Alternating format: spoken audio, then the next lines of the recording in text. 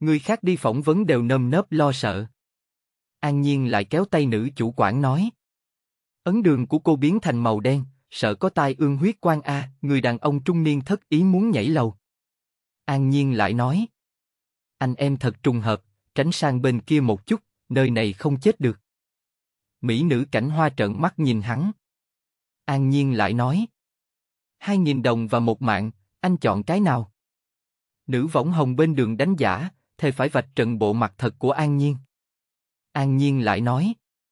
Em gái, anh đề nghị em nên báo cảnh sát đi. Đi dạo phố xảy ra một vụ án giết người phân thây, hẹn họ bắt được một người đi lại 500 ngàn. An Nhiên thanh danh ở bên ngoài, vạn người huyết thư cầu phát sóng. Nhưng An Nhiên lại nói. Tôi chỉ muốn làm một nhân viên an ổn, lý tưởng đơn giản như vậy sao lại khó như vậy? Mạng tiểu thuyết phi lương nhắc nhở ngài. Bản tiểu thuyết cùng nhân vật chỉ là hư cấu, nếu có giống nhau, chỉ là trùng hợp, chớ bắt chước. Chương 1 Cái kia tòa nhà lớn có người muốn nhảy lầu. Bạn đang nghe tại truyện chấm audio. Ai ai ai, ấn đường của ngươi thật sự biến thành màu đen a. À. Ít ngày nữa chỉ sợ sẽ có tai ương huyết quan. Ta nói đều là sự thật a. À. Trong ánh mắt một đám mỹ nhân tinh anh đô thị mặc đồng phục công sở, ăn mặc mỹ lệ như nhìn kẻ ngốc, một thân nam tử quần áo mộc mạc sinh viên đại học, bị hai gã bảo vệ hung thần ác sát ném ra ngoài cửa. Cút! Mẹ nó, bệnh tâm thần ở đâu ra, hại lão tử bị chủ quản mắng. Nếu không đi, xem lão tử một cước đá chết ngươi. An Nhiên đứng lên phủi bụi đất trên người, nhặt sơ yếu lý lịch rơi xuống đất lên, lắc đầu thở dài một tiếng. Lời tốt khó khuyên kẻ đáng chết a. Thay nhà khác đi. Enron đến để phỏng vấn dáng người cân xứng, cao gần 1 mét 8, dáng người hơi có chút đơn bạc, trên mặt còn có một tia bệnh trạng tái nhợt. Tướng mạo tuy nói không đẹp trai, nhưng một thân khí chất đại nam hai nhà bên vẫn rất khiến người ta thích. Rõ ràng quá trình phỏng vấn cũng thuận buồm xuôi gió, nhưng cuối cùng An Nhiên lại nhìn chầm chầm quản lý phỏng vấn, nói ấn đường của cô biến thành màu đen ít ngày nữa sẽ gặp nạn, thế nào cũng phải nhìn bát tự của người ta, nói như vậy nhìn chuẩn xác hơn một chút. Chủ quản làm sao chịu được cái này? Vì thế hắn liền bị coi là bệnh tâm thần cho ném ra. Lão già chết tiệt, cửa hàng đoán mệnh tốt đẹp không cho ta kế thừa, thế nào cũng phải để cho ta tìm việc khác mưu sinh lộ. Chuyện tìm việc làm này an nhiên là cự tuyệt. An nhiên không hiểu sư phụ tại sao phải làm như vậy, hắn cũng không hỏi, bởi vì hắn biết hỏi cũng là hỏi không, lão gia hỏa sẽ không nói. Chuyện an nhiên không hiểu còn có rất nhiều, tự như sư phụ của hắn rõ ràng có bản lĩnh lớn, lại cam nguyện ở một góc thành phố, làm một thầy bói bình thường. Mà sư phụ rõ ràng là tính không bỏ sót, lại hết lần này tới lần khác phần lớn thời gian chỉ đem lời nói một nửa, như lọt vào trong sương mù làm cho người ta nói không đâu bờ bến, có lúc lại càng là nói thái quá, làm cho người ta phẫn quốc mà đi. Tóm lại, sư phụ của hắn chính là một cái khắp nơi lộ ra thần bí quái lão đầu. Mà hắn cũng là bị sư phụ nhặt được. Thời gian trong vắt, từng bước một bình yên. Đây chính là nguồn gốc của cái tên An Nhiên. An Nhiên mỗi lần nhớ tới tên của mình chính là một trận im lặng, thật giống như nhân sinh của mình từng bước nguy cơ, khắp nơi tử cục đồng dạng. Đại gia, ta mặc dù bị ném ra, nhưng ta thật sự không phải bệnh tâm thần, cũng không phải kẻ lừa đảo, ngươi không cần phải vui như vậy a. À. Bày sạp trước tòa nhà. Đại gia ngươi thật biết chọn địa phương. Mấy tên bảo vệ này bị mù à. Một gốc bồn hoa trước cao ốc, một ông cụ bày sạp nhỏ nghe An Nhiên nói lập tức thu liễm ý cười, biến vẻ mặt kinh ngạc. Ngươi có thể nhìn thấy ta? An Nhiên đi lên phía trước, liếc mắt nhìn đại gia. Ta cũng không mù.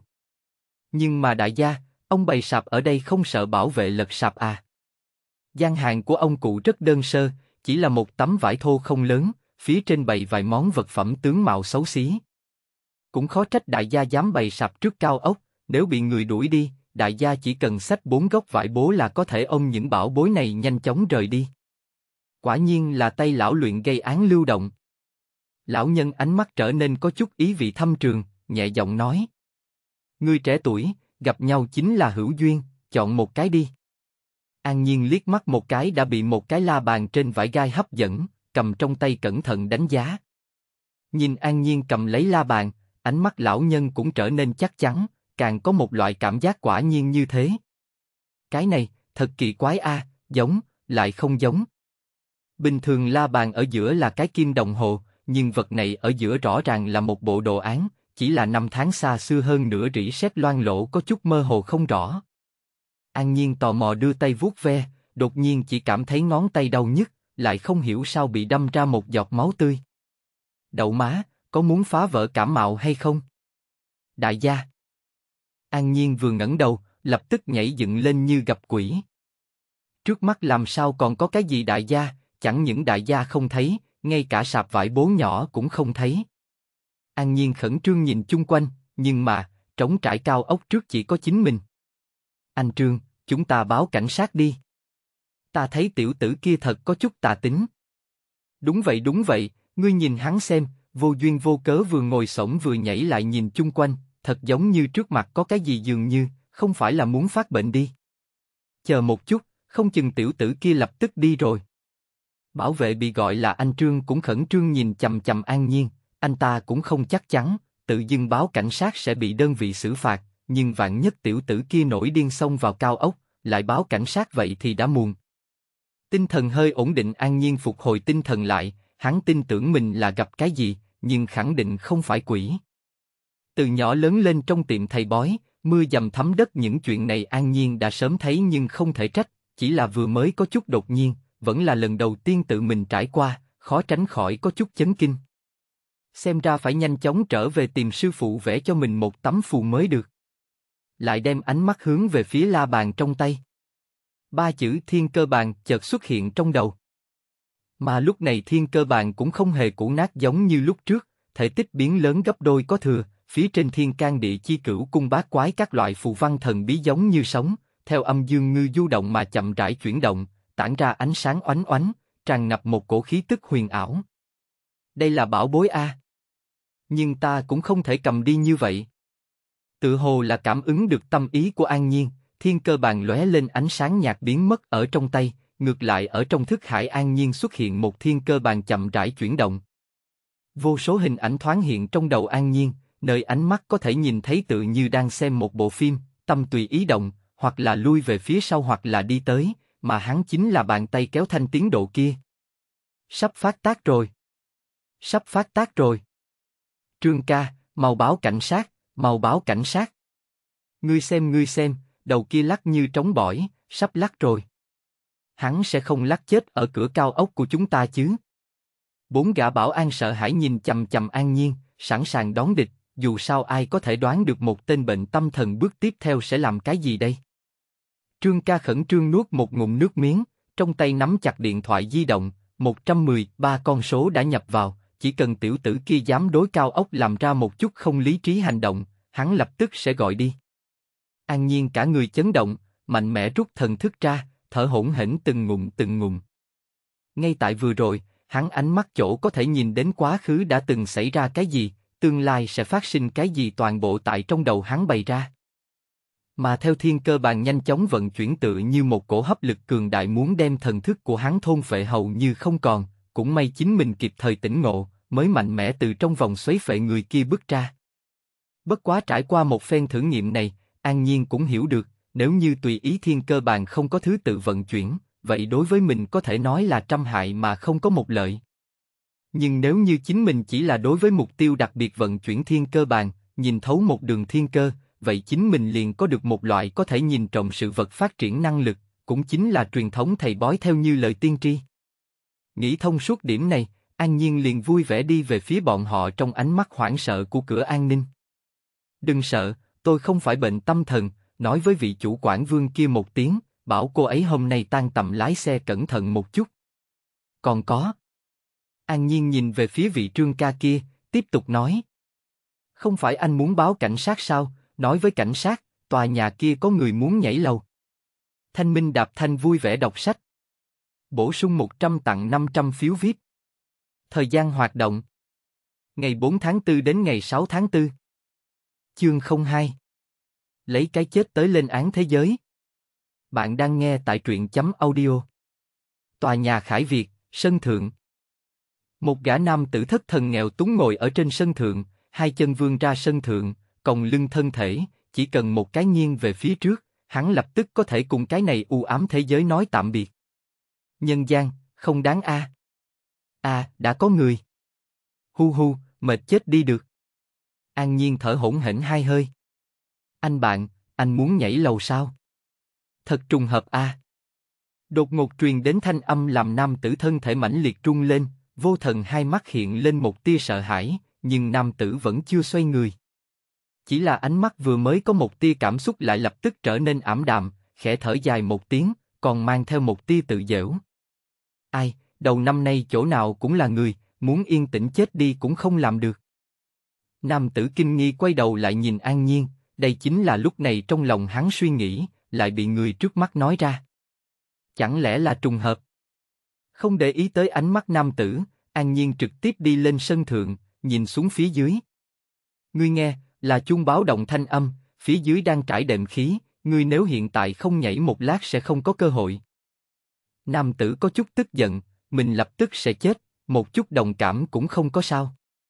Cho dù mình phải chết, cũng tuyệt đối không cho phép người khác coi thường sinh mệnh như thế. À, nhân gian quả nhiên không đáng. Ba. Tiếng bước chân nặng nề rơi xuống đất. Một thân ảnh mặc đồng phục phòng cháy chữa cháy cực nhanh xuất hiện trên sân thượng. Ngay sau đó một người đẹp và nhiếp ảnh gia dáng dấp phóng viên cũng xuất hiện ở phía sau, từng ngụm từng ngụm thở hổn hển. Bất quá hai người trước đó được dặn dò vẫn chưa tiến lên, chỉ là chụp ảnh từ xa. Mẹ kiếp, hai người. Rốt cuộc ai phải chết?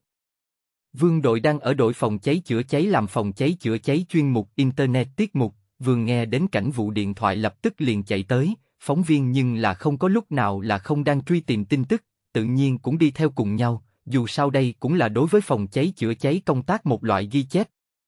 Đội phó vương lưu lại toàn quyền chỉ huy, còn mình thì đi lên ổn định người muốn nhảy lầu trước.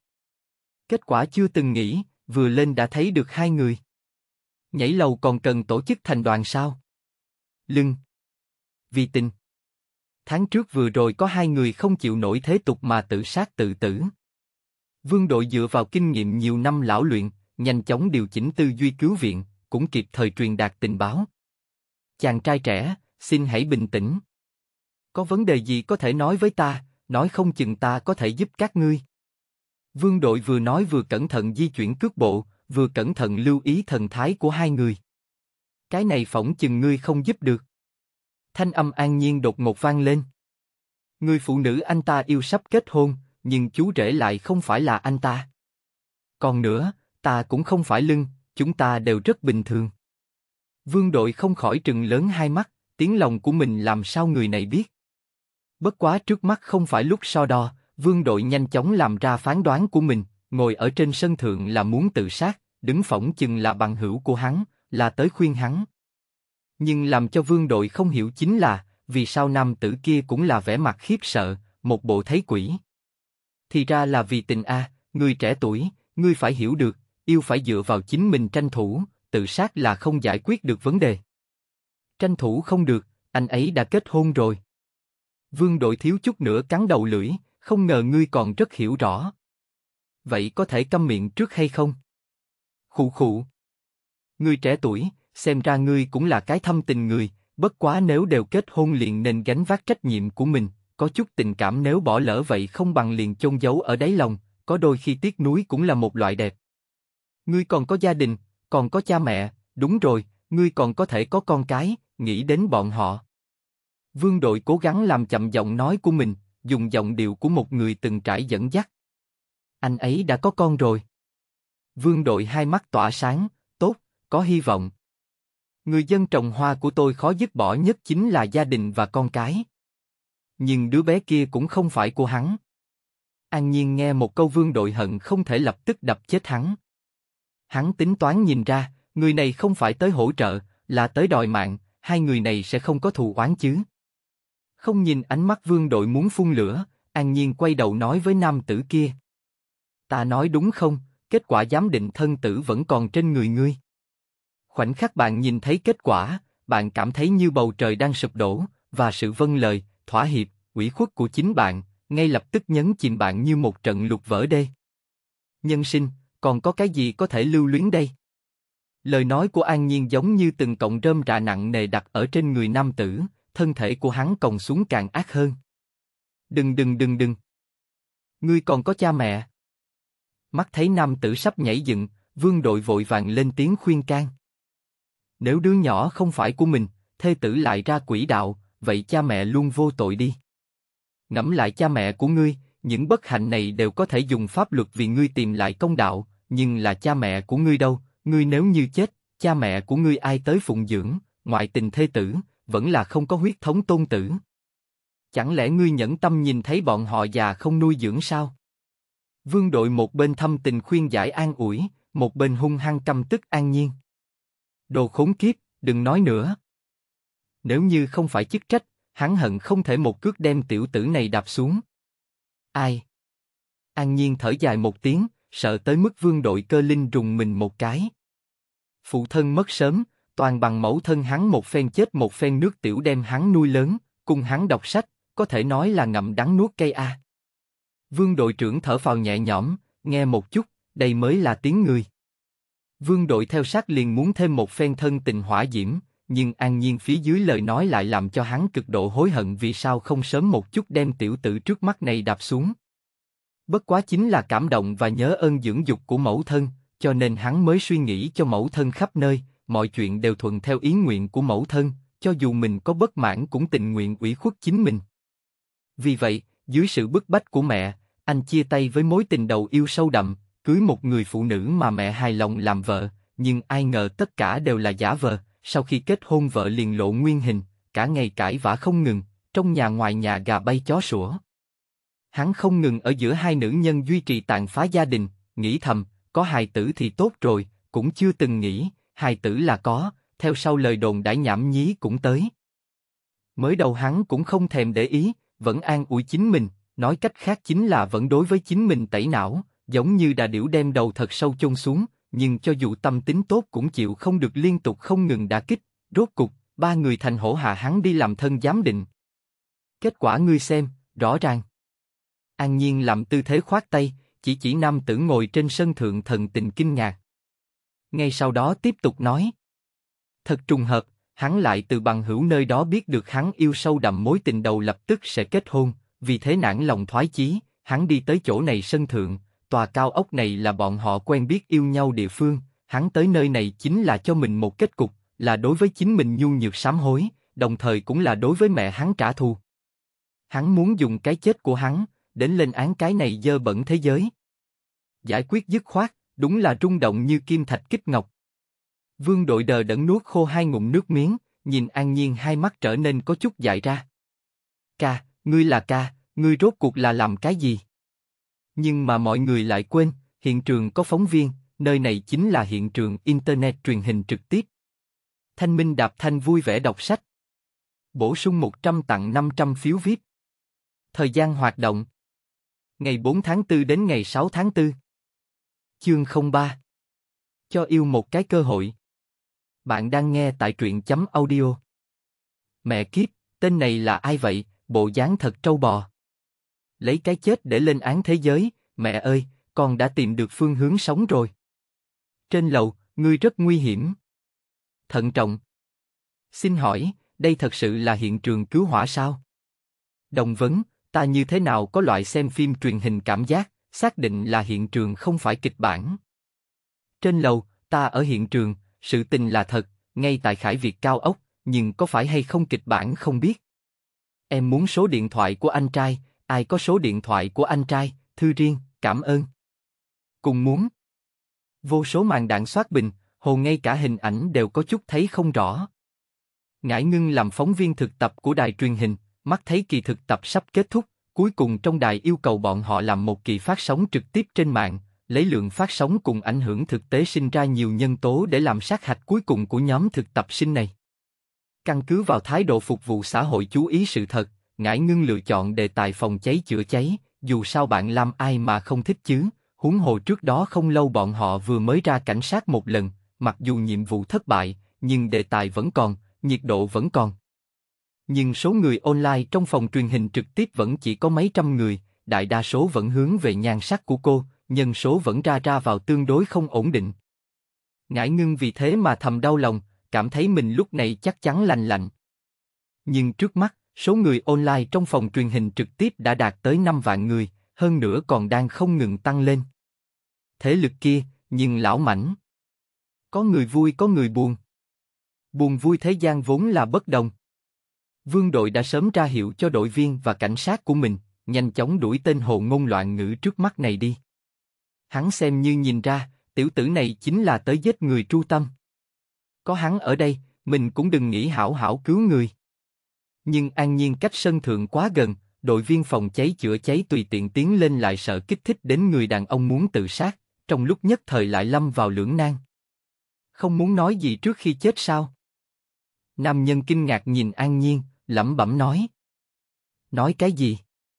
Ngươi đều muốn chết, còn muốn nghẹn sao? Đương nhiên là nói ngươi muốn nói nhất lời. Người đàn ông cười khổ một tiếng, chậm rãi lắc đầu. Sắp chết rồi, còn nói cái gì? Cho dù nói thì có ích lợi gì, nàng lại không nghe được. Quên đi. Nam tử thở dài một tiếng, nhắm chặt hai mắt, hai hàng lệ nóng từ khóe mắt chảy xuống. Kẻ nhu nhược chính là kẻ nhu nhược, cho dù chết cũng vẫn là kẻ nhu nhược. Không có dũng khí đối mặt với người khác, cũng không có dũng khí đối mặt với chính mình, cho dù đến chết cũng không có dũng khí nói ra câu nói trong lòng. Lời nói của An Nhiên đánh thẳng vào lòng người, rõ ràng là đang nói với nam nhân, nhưng mỗi người sau khi nghe xong đều cảm thấy đây là đang nói cho mình nghe. Lời cuối cùng. Cái này phải công đạo diên ngôn. Vương đội đối với việc này chỉ có thể lo lắng suông, đối thoại giữa hai người hắn hoàn toàn chen miệng vào không được. Làm thế nào để cấm? Tiểu tử kia chặn hết đường lui rồi. Ta nói một cái ngươi chặn một cái. Ta nói một cái ngươi chặn một cái. Tiểu tử ngươi chính là cố ý đến ngột ngạt. Chặn rò rỉ vương cũng không bằng ngươi. Đúng rồi, mối tình đâu? Vương đội trưởng con mắt sáng ngời, thế giới của hắn phản phất lần nữa mở ra một cánh cửa mới tinh. Anh không muốn gặp lại tình yêu đầu tiên của mình sao? Nếu cô ấy là người anh yêu nhất, chẳng lẽ anh không muốn gặp lại cô ấy trước khi chết sao? Người đàn ông trầm mặt một lát, chậm rãi lắc đầu. Gặp thì có thể thế nào đây? Chẳng qua là tăng thêm phiền não mà thôi. Cô ấy sắp kết hôn rồi, cần gì phải vì một người sắp chết như tôi mà gây phiền toái cho cô ấy? Không bằng cứ để cho ta yên lặng chết như vậy, ta tốt, tất cả mọi người tốt. Nghe ra nam tử tử ý đã quyết, trong thanh âm không mang theo một tia tức giận. An nhiên thở dài một hơi, nghe vương đội trong lòng lại cả kinh. Lão tử thật vất vả mới tìm được điểm đột phá, ngươi cũng đừng xảy ra chuyện gì nữa. Chẳng lẽ mối tình đầu của anh cũng đã xảy ra chuyện? Trái tim đội trưởng Vương thật sự kích thích như ngồi trên tàu lượng siêu tốc. An Nhiên nhất định sẽ không làm đội trưởng Vương thất vọng. Chỉ thấy An Nhiên lắc đầu thở dài nói. Không cách nào lý giải nhất chính là các ngươi những người này, cái gì cũng không nói, chuyện gì cũng không làm, toàn dựa vào đoán, toàn dựa vào nghĩ, ngươi cho rằng chính là ngươi cho rằng. Chị gái nhỏ trước màn hình em có thấy không, đây chính là người đàn ông em yêu sâu đậm, anh thật sự cảm thấy không đáng cho em. Kẻ nhu nhược như vậy thiệt thòi ngươi trước đó không gả cho hắn, bằng không có ngươi dễ chịu. Tục ngữ nói, chỉ cần cái quốc vung tốt, không có gốc tường đào không ngã, huống chi nàng còn không có kết hôn, liền cái này ngươi cũng không muốn đi tranh thủ một chút, chỉ biết ở chỗ này hối hận, tìm chết tìm sống, đáng đời lão bà của ngươi cho ngươi đội nón xanh, đáng đời ngươi thích làm cha. An Nhiên mắng chửi một trận, nghe đến mọi người kinh hồn bạc vía. Khóe mắt, khóe miệng của đội trưởng Vương tiếp theo cả khuôn mặt đều co quắp như thần kinh rối loạn. Chính mình thật vất vả tìm được một tia hy vọng ngọn lửa, tại tên hỗn đảng này một trận chửi bới bên trong nhất thời hóa thành một luồng khói xanh, tan vỡ. Ca ca ai, đây chính là một người muốn nhảy lầu, ngươi còn khoét tâm của hắn đi kích thích hắn như vậy, ngươi là chê tâm muốn chết của hắn không đủ quyết tuyệt sao? Vô số cư dân mạng càng thêm kiên định đây là hoài nghi của kịch bản. Đây đâu phải hiện trường cứu hộ. Đây rõ ràng là hiện trường chết xã hội a. Cứu viện nghiêm túc ai dám làm như vậy? Bất quá cư dân mạng xem náo nhiệt không chê chuyện lớn nhau nhau đứng thành hàng bình yên, khen tiểu ca ca mắng rất tốt, nếu màn đạn có thể lên tiếng, bọn họ chỉ biết mắng càng dữ dội. Vương đội hít sâu một hơi, cố gắng bình phục lại tâm thần của mình, không ngừng nhắc nhở chính mình, chính mình là quan chỉ huy, chính mình không thể loạn. Bất quá điều khiến đội trưởng Vương an tâm chính là, cũng may trải qua một phen đối thoại này, phía dưới đã chuẩn bị thỏa đáng, chẳng những đệm khí an toàn đã trải xong, mà ngay cả tầng lầu dưới thân người đàn ông cũng có năm lính cứu hỏa canh phòng nghiêm ngặt tử thủ, một khi người đàn ông thật sự nhảy xuống, bọn họ sẽ lập tức nhào tới cứu người. Vì bảo đảm an toàn cho nam tử, bọn họ cũng tan nát cõi lòng. Nói đi, cho mình một cơ hội, cho cô ấy một cơ hội, đồng thời cũng cho tình yêu một cơ hội. Có lẽ là An Nhiên tức giận mắng có hiệu quả, nam nhân giống như hạ quyết tâm rất lớn, cắn răng một cái liền muốn hô lên cái gì, hắn quyết định, đây là hắn lưu lại thế giới cuối cùng thanh âm. Khoan đã. Khụ khụ khụ. Nam nhân dồn dập ho khan, trợn mắt nhìn An Nhiên, khí thế mình thật vất vả cố lên cứ như vậy bị hắn quấy rầy, thân thể nghiêng về phía trước nhìn mọi người một trận sợ hãi. Sợ hắn ho lớn tiếng hơn nữa sẽ đi xuống. Ngại quá, có một số việc cần nói rõ một chút. An Nhiên cười mỉa hai tiếng, quay đầu nhìn vương đội trưởng nói.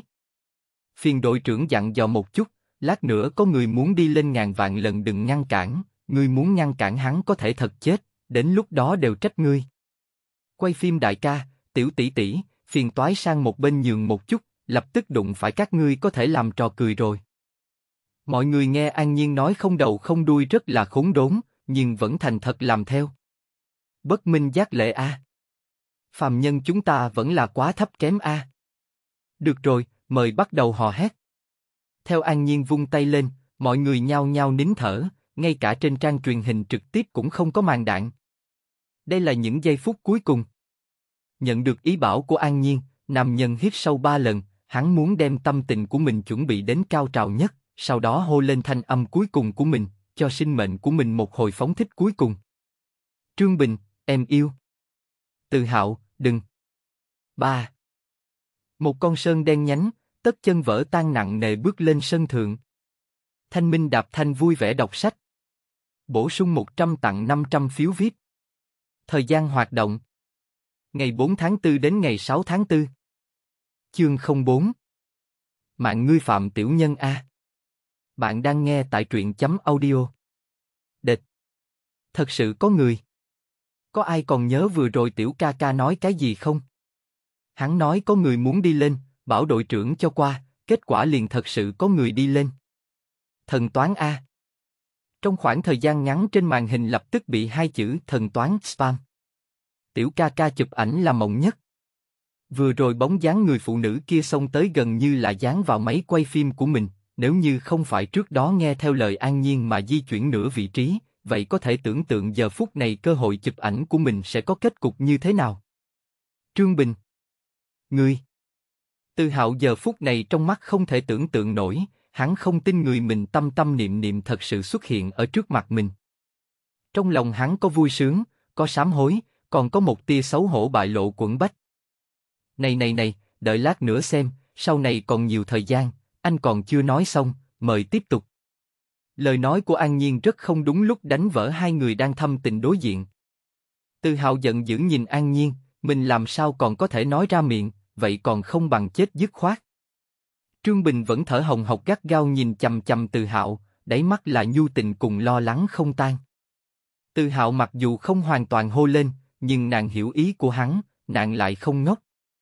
Vốn cho rằng cuộc sống đã không còn ánh sáng, tình yêu cũng đã sớm bị chôn vùi.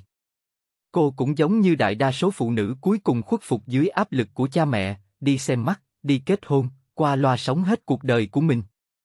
Nhưng trong lúc vô tình ở trong điện thoại di động nhìn thấy thân ảnh ngồi ở rìa sân thượng kia, chỉ là trong nháy mắt, tim của cô liền bị hung hăng gõ một cái.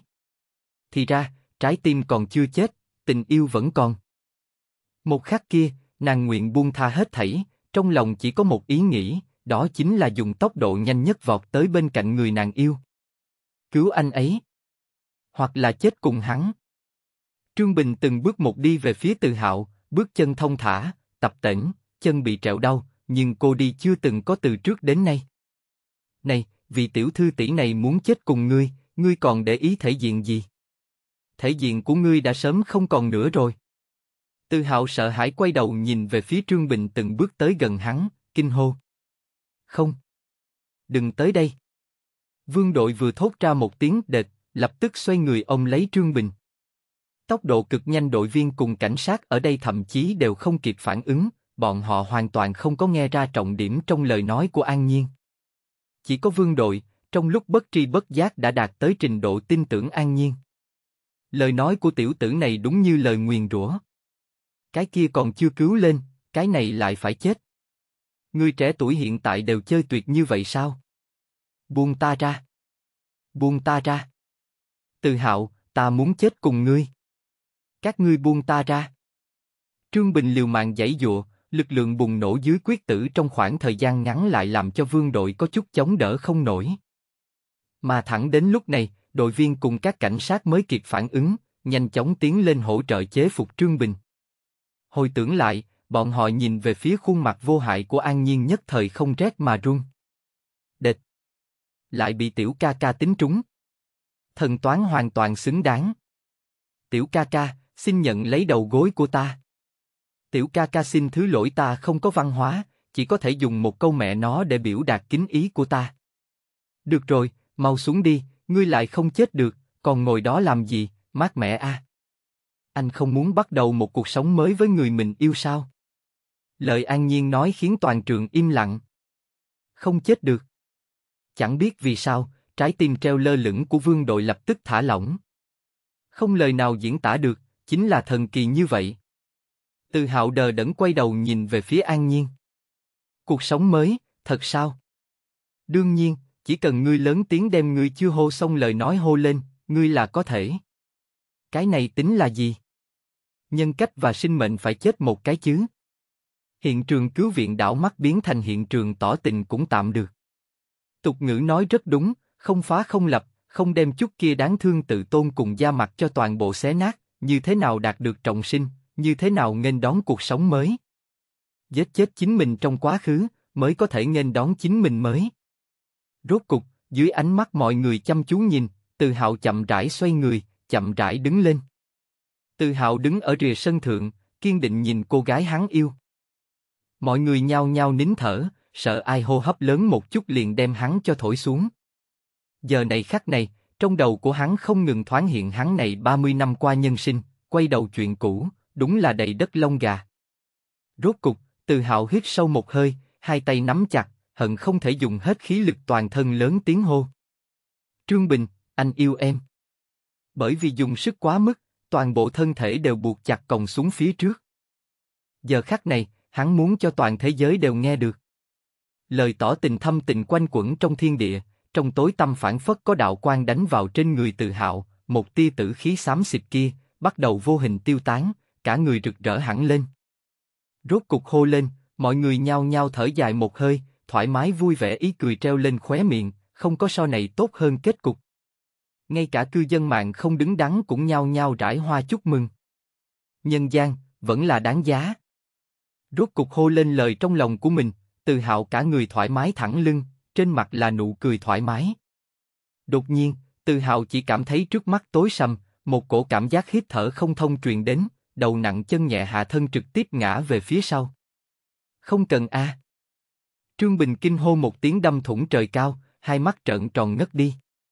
Sự tình phát sinh quá mức đột ngột, tất cả mọi người còn đắm chìm trong ảo tưởng kết cục tốt đẹp, làm sao nghĩ đến, nhân sinh vô thường thật sự nói đến là đến. Pháo hoa mặc dù đẹp, cũng bất quá là thoáng qua rồi biến mất. Duy nhất kịp phản ứng chính là vương đội, chỉ có hắn toàn bộ quá trình chú ý trạng thái của Từ Hạo, chỉ cần người được cứu viện còn chưa từ biên giới nguy hiểm đi xuống, sứ mệnh của hắn còn chưa kết thúc. Cho nên khi nhìn thấy Từ Hạo có dấu hiệu trọng tâm bất ổn, hắn cũng đã phóng về phía Từ Hạo. Thế nhưng, nước xa không giải được khác gần, bởi vì vừa mới ngăn cản Trương Bình, khiến cho khoảng cách giữa hắn và Từ Hạo có chút gia tăng. Cho dù hắn dùng hết toàn lực, để giày cũng đã cùng mặt đất lau ra khói xanh, nhưng vẫn theo không kịp. Một đường cách xa nhau, chính là khoảng cách giữa sống và chết. Trong tuyệt vọng, hắn chỉ có thể gửi gắm hy vọng đội viên tầng dưới có thể kịp thời cứu vớt, bắt lấy thân thể từ hạo. Đã chết sao? Quả nhiên, nào có cái gì bắt đầu lại từ đầu, chung quy vẫn phải chết. Bình bình, ta không phụ lòng ngươi. Nếu có kiếp sau, tôi cả đời này cũng chưa sống tốt, còn muốn kiếp sau. Từ Hạo đang cầu nguyện kiếp sau đột nhiên nghe được thanh âm an nhiên vang lên bên tai, không khỏi sợ hãi mở hai mắt ra. Không chết. Ta không chết.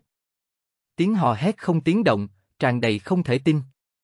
Ngươi đương nhiên không chết, bất quá ngươi thật sự nặng, muốn sống lâu trăm tuổi ngươi phải giảm béo. Bất quá, hiện tại ai có thể tới giúp ta một tay, tên này quá nặng, ta đều sắp kéo không nổi. Nghe được thanh âm an nhiên, mọi người lúc này mới phục hồi tinh thần lại.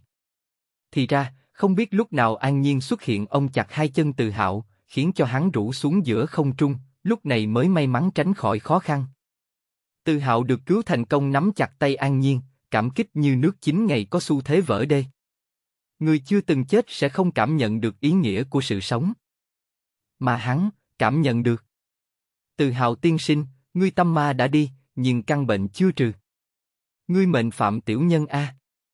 Thanh Minh Đạp Thanh vui vẻ đọc sách. Bổ sung 100 tặng 500 phiếu VIP. Thời gian hoạt động. Ngày 4 tháng 4 đến ngày 6 tháng 4. Chương 05. Mấy chục vạn người bên trên giảng bài. Bạn đang nghe tại truyện chấm audio.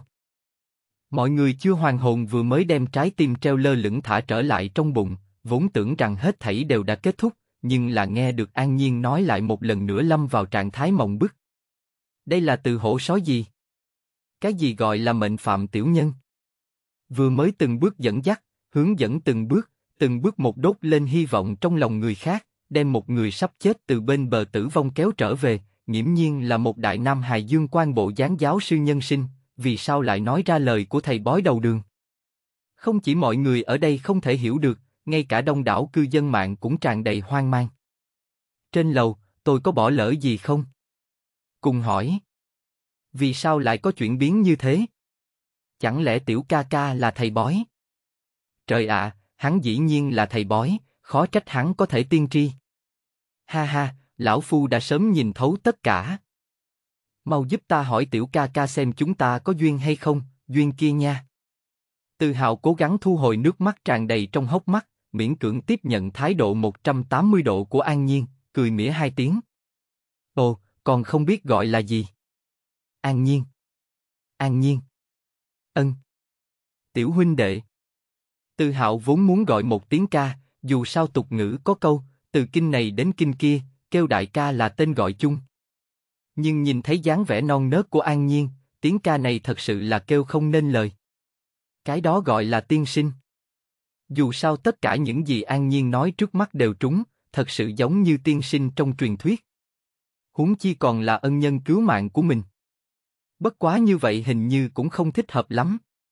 An Nhiên tiểu huynh đệ, trong cuộc sống, trong công việc gặp phải tiểu nhân lại nói khó tránh khỏi, bất quá ta một nửa rất ít cùng người kết oán, cùng người chung quanh quan hệ cũng không tệ lắm, hẳn là không có người muốn hại ta đi. Đúng vậy đúng vậy, anh ấy là người rất hiền lành, là một người rất dịu dàng. Trương Bình tĩnh lại cũng khẩn trương ở một bên giải thích. Phụ nữ vốn cảm tính hơn đàn ông, huống chi nguyên nhân cô xem video chính là bởi vì đồng nghiệp nói cho cô biết có một vị thần có thể tiên tri đang cứu vớt một người muốn nhảy lầu. Cho nên, mặc dù không có trải qua đủ loại chuyện lúc trước, nhưng Trương Bình theo bản năng liền lựa chọn tin tưởng. Ta đương nhiên biết Từ Hạo tiên sinh là một người ôn nhu, dù sao cũng là ôn nhu cùng cẩn thận của hắn đã động ngươi. Cũng giống như ông Từ, con đã mất cha từ khi còn nhỏ, vì vậy con khao khát tình thương của cha, và một lần khi con gặp khó khăn, trong lòng vẫn nghĩ giá như có cha ở đây, tình cờ ông Từ vươn tay ra giúp con. Trong một khoảnh khắc, bạn dường như nhìn thấy cha mình và cảm thấy sự ấm áp chưa từng có. Dưới sự an bài của vận mệnh, hai người lại tình cờ gặp nhau ba lần, còn đều là lúc bạn gặp khó khăn cần giúp đỡ, vì vậy, hai người cảm động và nhớ nhung sự thần kỳ của vận mệnh, liền kết giao. Ngay sau đó, trong quá trình kết giao, hai người càng ngày càng bị hấp dẫn, cũng yêu đối phương sâu sắc, cho tới bây giờ, tình yêu kia vẫn nồng đậm như cũ.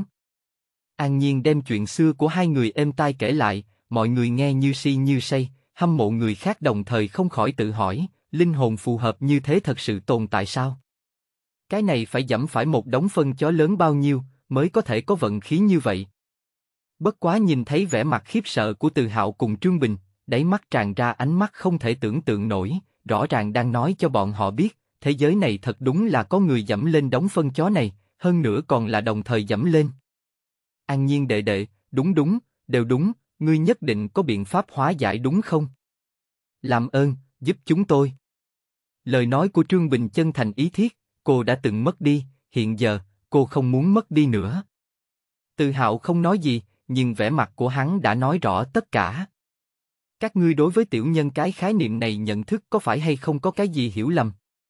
Lời nói của An Nhiên khiến mọi người không hiểu, tiểu nhân, còn có ý gì khác?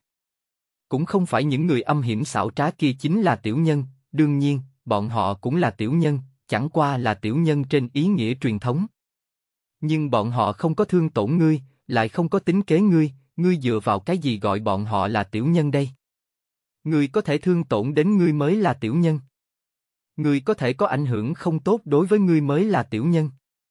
Lời nói của An Nhiên như một quả sấm sét, nổ khiến mọi người ngã ngựa lật, chỉ cảm thấy đầu óc mình ong ong. Bọn họ cũng không biết, càng chưa bao giờ nghĩ tới nguyên lai tiểu nhân lại có thể bị định nghĩa như thế. Có tâm muốn phản bác, nhưng trong khoảng thời gian ngắn lại tìm không thấy căn cứ lý luận phản bác. Tư duy hình thành từ trước tới nay đang nói cho bọn họ biết, an nhiên nói đều là nhảm nhí, là giả. Nhưng trong lòng lại có một thanh âm đang nói, mẹ kiếp, hắn nói rất có đạo lý. Đồng dạng nổ nồi còn có đông đảo cư dân mạng. Địch. Tăng tri thức. Tăng tri thức. Không uổng công, học được rồi, học được rồi. Mà mà, hắn nói rất có đạo lý. Hôm qua bạn cùng bạn của tôi mượn tôi năm hào, đến bây giờ vẫn chưa trả, hóa ra anh ta chính là tiểu nhân. Trên lầu, hảo hảo đi học, loại này nhân sinh triết lý ngươi nắm giữ không được. Cư dân mạng bình luận có thể nói đủ loại, nhưng không biết ai đánh một cái bất minh giác lệ, ngay sau đó màn hình liền bị bốn chữ bất minh giác lệ này spam. Mà theo An Nhiên lần này mới lạ, tiểu nhân chi luận vừa ra, nhân số phòng truyền hình trực tiếp lập tức liền tăng vọt tới 20 vạn. Một chương trình truyền hình trực tiếp lấy phòng cháy chữa cháy làm chủ đề, không có khiêu vũ nóng, không có sát biên, số người online có thể đạt tới 200 ngàn, đây là chuyện mà những người cả ngày trầm mê lướt video chơi game có thể làm. Quả thực làm cho người ta khó có thể tin được. Từ hạo chớp chớp đôi mắt mê mang, hắn chưa lĩnh hội được tinh túy si ngốc hỏi. Vậy? À, tiểu nhân ta phạm là... Đúng vậy, an nhiên tiểu huynh đệ, ngươi có thể hay không nói cho chúng ta biết, chúng ta cũng dễ phòng ngừa một chút. An nhiên thở dài, quả nhiên, bọn họ vẫn không thể hiểu được. Có đôi khi tiểu nhân không phải cố ý muốn đi hại ngươi, mà là ngươi không thể không bị hắn hại, có thể phòng ngừa tiểu nhân liền không thương tổn được ngươi, vậy hắn còn là tiểu nhân sao? Cho các ngươi một ví dụ đi. Mọi người tinh thần chấn động, nhào nhào ngưng thần lắng nghe, lý luận trống rỗng quá mức hư ảo, có ví dụ bọn họ mới dễ lý giải. Mà màn đạn trên màn hình giờ phút này cũng biến mất, xem ra bạn học đi học không chỉ có những người ở hiện trường. Mấy chục vạn người học đại khóa, cũng là sống lâu mới thấy. Nếu như nói, em đi trên đường gặp được một người chị, em nói, chị có thể cho em một trăm nghìn tệ không, em muốn mua một chiếc xe, chị nhất định sẽ cho rằng em bị bệnh tâm thần, đúng không?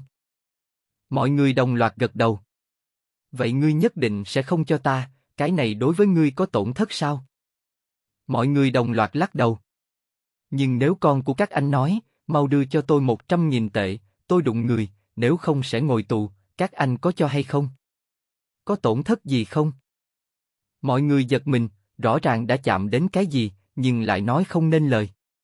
Cho nên, tiểu nhân có thể chính là người bên cạnh ngươi, có thể là huynh đệ tỷ muội của ngươi, thậm chí cũng có thể là ba mẹ của ngươi. Một khắc an nhiên đem kết luận nói ra kia, mọi người mới thật sự giật mình, nhưng tư duy định tính truyền thống lại làm cho bọn họ khó có thể tiếp nhận. Trong khoảng thời gian ngắn, tình cảm cùng lý trí bắt đầu giao phong kịch liệt. Cho nên, Từ Hạo tiên sinh, ngài hiểu chưa? Từ Hạo nhíu mày, ánh mắt trung động, hô hấp nặng nề cho thấy giờ phút này hắn rốt cuộc có bao nhiêu rối rắm. Trương Bình cắn chặt môi, như có điều suy nghĩ nhìn về phía Từ Hạo, trong ánh mắt mang theo thương cảm khó hiểu, ngón tay không khỏi nắm thật chặt. Rõ ràng chờ mong cái gì, nhưng lại sợ hãi. Thanh Minh Đạp Thanh vui vẻ đọc sách. Bổ sung 100 tặng 500 phiếu VIP. Thời gian hoạt động. Ngày 4 tháng 4 đến ngày 6 tháng 4. Chương 06. Hoàng Mỹ Thu Quan, Hồng Bao lấy ra. Bạn đang nghe tại truyện chấm audio. Hai mắt mê man dần dần trở nên kiên định, từ hạo đem ánh mắt chuyển hướng Trương Bình, trong ánh mắt bắn ra thần quang chưa từng có từ trước đến nay. Trương Bình một tay gắt gao che miệng, không cho mình khóc thành tiếng, nhưng thân thể quá mức kích động không ngừng rung động, vui mừng cùng nước mắt tràn mi, tận tình phát tiết. Người thật lòng yêu nhau, không cần quá nhiều lời nói, chỉ cần một ánh mắt liền hiểu được trái tim của nhau. Trương Bình đã biết đáp án của Từ Hạo, nàng càng biết Từ Hạo làm ra quyết định này khó khăn cỡ nào. An Nhiên tiểu huynh đệ, ta hiểu rồi, ta sẽ đoạn tuyệt quan hệ mẫu tử với mẹ ta. Từ Hạo vừa nói ra lời này, mọi người tất cả đều xôn xao. Trương Bình cố ý muốn ngăn cản, nhưng vươn tay lên giữa không trung lại khó tiến thêm một bước. Cô đã từng từ bỏ, vì người mẹ đáng thương khóc lóc kể lệ trước mặt mình, cũng vì người yêu của cô có thể hạnh phúc. Nhưng trên thực tế, đúng lúc cô nhượng bộ, người yêu của cô vẫn không hạnh phúc, thậm chí thiếu chút nữa đã chết. Lúc này, cô phải ích kỷ một chút, nhẫn tâm một chút, vì mình, càng vì người yêu của cô. Thì ra tiểu nhân muốn hại hắn chính là mẫu thân của hắn. Trời ạ, mẹ lại ép con mình nhảy lầu. Anh dám tin. Trong này có chuyện xưa, không phải đương sự, không cần bình luận. Ta không tin. Làm sao có thể có mẫu thân như vậy? Trời ạ, nam tử lại vì người yêu của mình mà đoạn tuyệt quan hệ với mẫu thân. Tình yêu và đạo hiếu rốt cuộc cái nào quan trọng hơn? Tư Hạo sẽ không nghĩ tới một câu nói của mình lại gây ra oanh động lớn như vậy trên mạng, thế cho nên cư dân mạng lập tức phân ra mấy trận doanh nhau nhau bắt đầu giao phong kịch liệt. Có người đứng về phía Từ Hạo, nói anh là đàn ông chân chính, tìm chồng thì phải tìm loại người như anh. Có người đứng về phía mẹ Từ Hạo, nhao nhao vì bà mà cảm thấy không đáng, ngậm đắng nuốt cây nuôi ra một đứa con trai lại muốn đoạn tuyệt quan hệ với mình. Có người đứng về phía Trương Bình, nói cô có can đảm theo đuổi, thâm tình hậu ý, quả thực là tiêu chuẩn chọn người vợ. Có trạm sẽ có mắng, một ít cư dân mạng điên cuồng một trận miệng pháo xuống, quả thực có thể nói là vương giả miệng mạnh. Từ hạo tiên sinh quyết tâm rất tốt, nhưng không đáng khích lệ, người nọ dù sao cũng là mẫu thân của ngươi. Cô ấy chẳng qua là trong quá trình nuôi dưỡng anh quá mức để ý đến anh, lo lắng cho anh, hơn nữa bản thân cô ấy có ham muốn khống chế mạnh mẽ, còn có sự thỏa hiệp và phục tùng của anh càng thêm cổ vũ phần ham muốn khống chế này. Còn một điểm nữa, cô Trương cũng là gia đình đơn thân, đại đa số trẻ em lớn lên trong gia đình đơn thân đều có một số khuyết điểm về tính cách, đương nhiên là tính cách cá nhân đều có khuyết điểm, nhưng điểm này mẹ con cũng để ý. Cho nên nàng mới liều mạng ngăn cản các ngươi, tự mình chọn vợ cho ngươi. Vậy an nhiên tiểu huynh đệ, ta nên làm cái gì bây giờ, có thể khuyên nhủ mẹ ta hay không? Tư hạo tràn đầy hy vọng nhìn về phía an nhiên, hắn đương nhiên cũng muốn một biện pháp vẹn toàn đôi bên, dù sao người hơi có chút lương tri làm sao có thể muốn đoạn tuyệt quan hệ với mẹ của Tân Tân đau khổ dưỡng dục mình chứ. Nhưng mà hắn vẫn thất vọng. An Nhiên chậm rãi lắc đầu. Thật ngại quá, không có cách nào, tính cách của mẹ con đã đến giai đoạn cuối, muốn thay đổi là không có cách nào. Cho dù là vì cuộc hôn nhân bất hạnh của anh, cô ấy có chút đau lòng tự trách, còn có sự kiện anh nhảy lầu lần này cô ấy cũng sẽ thu liễm, nghĩ lại, nhưng đây đều là tạm thời, sau khi sự tình quên lãng cô ấy còn có thể như thế, tất cả vẫn như cũ. Bởi vì trong suy nghĩ của cô ấy, tất cả những gì cô ấy làm đều là vì tốt cho anh, suy nghĩ này đã ăn sâu vào cốt tủy, dần dần trở thành niềm tin trong cuộc sống của cô ấy. Nếu muốn thay đổi tính cách của cô ấy, phải phá vỡ niềm tin này của cô ấy, nhưng như vậy cô ấy sẽ sụp đổ, cuộc sống đối với cô ấy sẽ không còn ý nghĩa nữa. An Nhiên đem toàn bộ vấn đề phân tích ra, một bên là mẹ của mình, một bên là người yêu của mình, nếu như không để cho Từ Hạo tự mình nhận rõ tất cả, là không có cách nào giải quyết. Cho dù giải quyết được vấn đề hiện tại, đó cũng là trị phần ngọn không trị tận gốc, đây cũng là vì sao An Nhiên rõ ràng có thể trực tiếp chỉ rõ con đường cho hắn, lại còn đang từng bước tinh tế dẫn dắt. Tư tưởng không chuyển biến, hết thảy đều uổng công. Ánh mắt Trương Bình ảm đạm xuống, mình thật sự có thể ích kỷ như vậy sao? Lựa chọn chính mình, buông tha mẹ, hắn sẽ thật sự hạnh phúc sao? Hay là nói, bọn họ thật sự chính là hữu duyên vô phận? Tỷ tỷ cũng không thể nghĩ như vậy, các ngươi kiếp này là có duyên phận. Trương Bình đột nhiên ngẩng đầu, một tay bắt lấy tay An Nhiên, trong mắt tràn đầy hy vọng nhìn về phía An Nhiên, chỉ là môi kích động mở ra khép lại, lại không phát ra một tia thanh âm. Các ngươi phải xác định dựa theo ta nói mà làm, như vậy sẽ có một phương pháp tương đối trung bình. Từ Hạo cũng kích động nhìn An Nhiên. Làm theo, làm theo, ngươi nói cái gì ta đều làm theo. An Nhiên rất hài lòng với phản ứng của Từ Hạo, cho dù mình nói nhiều khó khăn như vậy, hắn vẫn không dao động quyết tâm muốn ở cùng một chỗ với Trương Bình, điểm ấy rất tốt. Người tự cứu, trời cứu. Đầu tiên hôn lễ cũng không cần cử hành, mẹ con sẽ không đi, cho dù đi cũng đại náo một hồi, làm cho tất cả mọi người rất khó coi. Nhưng tiệc cưới nhỏ cũng được, chỉ là thông báo cho bạn tốt, nhân số không thể vượt quá 20 người. Sau khi kết hôn ở một mình, không cùng mẹ chồng lui tới, dưới bất kỳ tình huống nào, nhớ kỹ là dưới bất kỳ tình huống nào không nên cùng mẹ chồng một mình ở chung, hai vị nhớ kỹ. Tỷ tỷ, không nên nghĩ muốn làm con dâu tốt, ngươi không có cái kia cơ hội, hoặc là muốn dùng chính mình chân tâm cảm hóa nàng, đó là vô dụng, không nên đối với cái này ông bất kỳ ảo tưởng. Đương nhiên, nói như vậy sẽ có rất nhiều về ngươi lời đồn đãi, cái gọi là ba người thành hổ, nhiều người sói mòn kim, lời đồn là đem giết người không thấy máu đau, tỷ tỷ ngươi phải có cái kia tư tưởng chuẩn bị. Từ Hạo nắm chặt tay Trương Bình, trong mắt tràn đầy ấy nấy, tất cả đối với một nữ nhân mà nói thật sự là quá ủy khuất nàng. Trương Bình cũng nắm chặt tay Từ Hạo, ánh mắt kiên định, thái độ của nàng chính là đáp án tốt nhất. Ấy nấy trước không nên vội vã ấy nấy, lông cừu không thể bắt được một con dê, phía dưới là của Từ Hạo tiên sinh, xin nhớ kỹ. Từ Hạo lập tức phấn chấn tinh thần, ngưng thần lắng nghe. Thứ nhất, vợ luôn luôn đúng. Phốc suy. Các chị em ở hiện trường lập tức bật cười, người hiểu tự nhiên đều hiểu. Rõ ràng là nội bộ hai vợ chồng không thể nói rõ, hôm nay bị một người ngoài lập ra quy củ, còn muốn cầu nhà trai phải tuân thủ, nghe thế nào cũng cảm thấy khôi hài. Mà nam sĩ ở đây nhao nhao hướng An Nhiên ném tới ánh mắt bất thiện, ánh mắt kia rõ ràng chính là đang nhìn phản đồ. Huynh đệ, ngươi có hiểu quy củ hay không? Có một số việc là không thể bày ra trên mặt bàn. Điều thứ hai, không thể có bất cứ chuyện gì giấu giếm, hết thảy hết thảy đều phải hướng lão bà công khai, nhớ kỹ, là bất cứ chuyện gì. Điều thứ ba, tất cả mọi chuyện đều phải thương lượng với vợ, bất kỳ quyết định nào cũng phải được vợ đồng ý mới có thể làm, vợ không đồng ý, tuyệt đối không thể làm, là tuyệt đối. Điều thứ tư, nếu như trong lòng có nghi vấn hoặc là không quyết định được chủ ý, đáp án ngay tại điều thứ nhất. Nói cách khác, một khi hai người đã kết hôn, sau này hai người sẽ sống một cuộc sống không có bất kỳ sự riêng tư nào. Ngươi nguyện ý sao? Từ Hạo không cần nghĩ ngợi gật đầu đồng ý. Ta nguyện ý. Tốt lắm, hy vọng các ngươi nhất định làm theo lời ta nói, các ngươi phải nhớ kỹ, vi phạm bất luận cái gì một điều, đều có thể khiến hôn nhân của các ngươi lâm vào nguy cơ. Hai người trọng trọng điểm đầu, duy trì một đoạn hôn nhân có ai là thoải mái đây? Được rồi, kết thúc trải hoa, lấy tiền lì xì ra đây. An Nhiên vẻ mặt hy vọng vương hai tay ra. Răng rắc. Một bộ còng tay lạnh như băng đột ngột xuất hiện, đem hai tay gắt gao tương liên. Thanh Minh đạp thanh vui vẻ đọc sách. Bổ sung 100 tặng 500 phiếu VIP.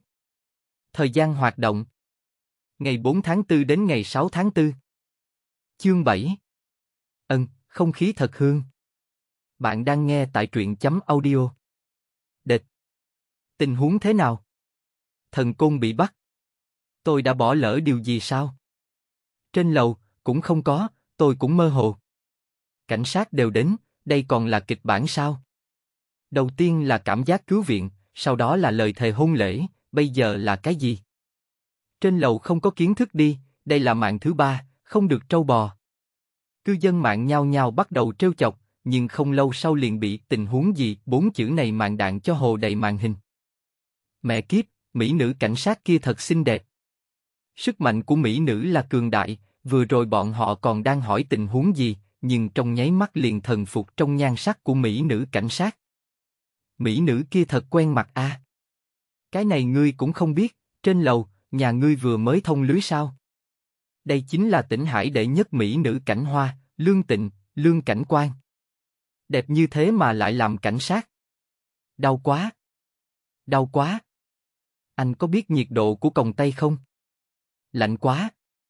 An Nhiên ngơ ngác nhìn đôi còng tay sáng mù trên tay mình. Tôi đã phạm tội. Không phải chứ. Tại sao phải còng tay tôi, cho tôi một lời giải thích hoàn mỹ, nếu không tôi khiếu nại anh. Đẹp, đẹp quá. Đẹp giỏi giang, đẹp thoát tục, đẹp tư thế oai hùng hiên ngang. Chỉ liếc mắt một cái, An Nhiên đã hiểu hết thảy. Phong kiến mê tín, nhiễu loạn bình thường cứu viện hành động, nên bắt ngươi. Lương Tịnh đã nhìn thật lâu, mình ở phía dưới chờ hoa đều phải tạ ơn, chậm chạp không thấy động tĩnh, vừa lên đã thấy hai đồng nghiệp của mình giống như mất hồn, một phen hiểu rõ mới hiểu được là chuyện gì xảy ra. Theo nàng xem ra, nếu không là an nhiên quấy rối, cứu viện đã sớm kết thúc, nàng còn có vụ án lớn muốn điều tra, nơi nào có nhiều thời gian ở đây chậm trễ như vậy. Cái gì mê tín phong kiến, con mắt nào của anh nhìn thấy tôi mê tín phong kiến? Hơn nữa, ngươi có chứng cớ gì nói ta nhiễu loạn cứu viện, ta vẫn luôn toàn lực cứu viện. Lương Tịnh bộc phát phiền não, lạnh giọng nói. Còn nói không phải phong kiến mê tín, ngươi vừa mới đều nói chút gì đó, rõ ràng chính là thầy bói yêu ngôn hoặc chúng. Cái này ngươi sai rồi, ta đây là phân tích tâm lý, thông qua vi biểu tình quan sát, cảm xúc dẫn dắt, lại kết hợp nước ta truyền thống tướng học lý luận, trung tây kết hợp dưới tổng kết. Lương Tịnh quả thực cũng muốn tức cười, đầu đường đoán mệnh cô không phải chưa từng bắt qua, nhưng giống người trước mắt này có thể kéo thật đúng là độc nhất vô nhị. Cái này còn có thể kết hợp trung tây. Không tin đúng không, tôi có chứng cứ. Lương Tịnh hừ lạnh một tiếng, cầm lấy túi văn kiện của An Nhiên. Cậu là Đại học Tỉnh Hải. Tâm lý học. Còn có chứng nhận tư vấn viên. Lương Tịnh vẻ mặt không thể tưởng tượng nổi, nguyên lai người này xuất thân chính quy, thật đúng là có chứng cứ. Như thế nào? Xem thường a.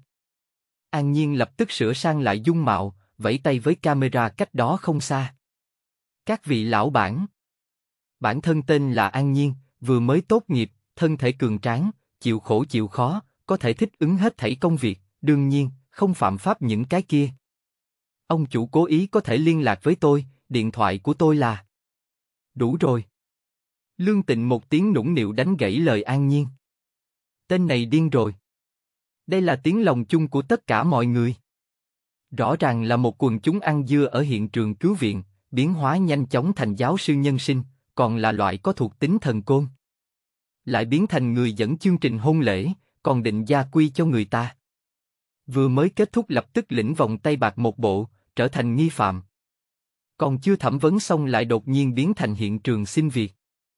Mấu chốt là anh vẫn còn đeo còng tay, được không? Anh đã từng thấy ai điềm nhiên như không có việc gì mang theo còng tay còn ở bên cạnh cảnh sát vẻ mặt hưng phấn xin việc. Vô pháp vô thiên. Hay là nói, diễu võ dương oai. Quả nhiên thần côn cũng không phải người bình thường, tiết lộ thiên cơ quá nhiều, đây là gặp trời phạt a. Đừng ở chỗ này cật nhã. Cậu có tư cách hành nghề không? Cậu đã đăng ký chưa? Có giấy phép kinh doanh không? Không có chính là phi pháp hành y, phi pháp buôn bán. Còn có ta đều nhìn thấy, ngươi hướng bọn họ đòi thù lao, ngươi còn có cái gì giảo biện? Tiểu dạng, ta còn không trị được ngươi. Lương Tịnh giống như khiêu khích nhìn An Nhiên, một bộ nắm chắc phần thắng, ăn chắc bộ dáng của anh. Nhưng An Nhiên vui vẻ không sợ, thậm chí không có nửa điểm hoảng loạn. Điều này khiến cô rất khó chịu. Ngươi tên là Lương Tịnh đi. Đối với việc An Nhiên có thể một mực gọi ra tên mình, Lương Tịnh tuyệt không ngoài ý muốn. Thư Diệu Tịnh eo nhỏ nhắn hề, Dương Tạp sai chi Lý Huy. Tên thật là một cái tên hay, chỉ là đầu óc không tốt lắm. Lương Tịnh không khỏi mở to hai mắt, đôi mắt đẹp càng lộ vẻ mê người. Làm sao tên này biết được nguồn gốc tên mình? Mông. Tuyệt đối là mông. Lòng tràn đầy kinh dị, nhất thời lại quên mất an nhiên trào phúng. Con mắt nào của anh nhìn thấy tôi đang hành nghề y? Tôi rõ ràng là đang giúp các chú lính cứu hỏa cứu người mà thôi, thuận tiện khuyên bảo họ một chút, mà họ cảm động và nhớ nhung sự nỗ lực của tôi, tự nguyện cho tôi một ít hồi báo. Chú ý, tôi vừa mới nói tiền lì xì, không phải thù lao. Đúng không? Từ Hào cùng Trương Bình đúng lúc gật đầu, tỏ vẻ đồng ý. Lương Tịnh hít sâu một hơi, dưới đồng phục căn phòng nhìn thẳng An Nhiên nhìn thấy mà giật mình. Hắn cũng không muốn nhìn. Nhưng khoảng cách quá gần, hình dạng quá tốt, thời tiết sáng sủa, ân, không khí thật thơm. Động tác nhỏ của An Nhiên đương nhiên trốn không thoát ánh mắt Lương Tịnh, trong lòng càng thêm chán ghét anh. Nhưng người này nhanh mồm nhanh miệng, mình nhất thời không tìm được lý do để bắt hắn. Khụ khụ.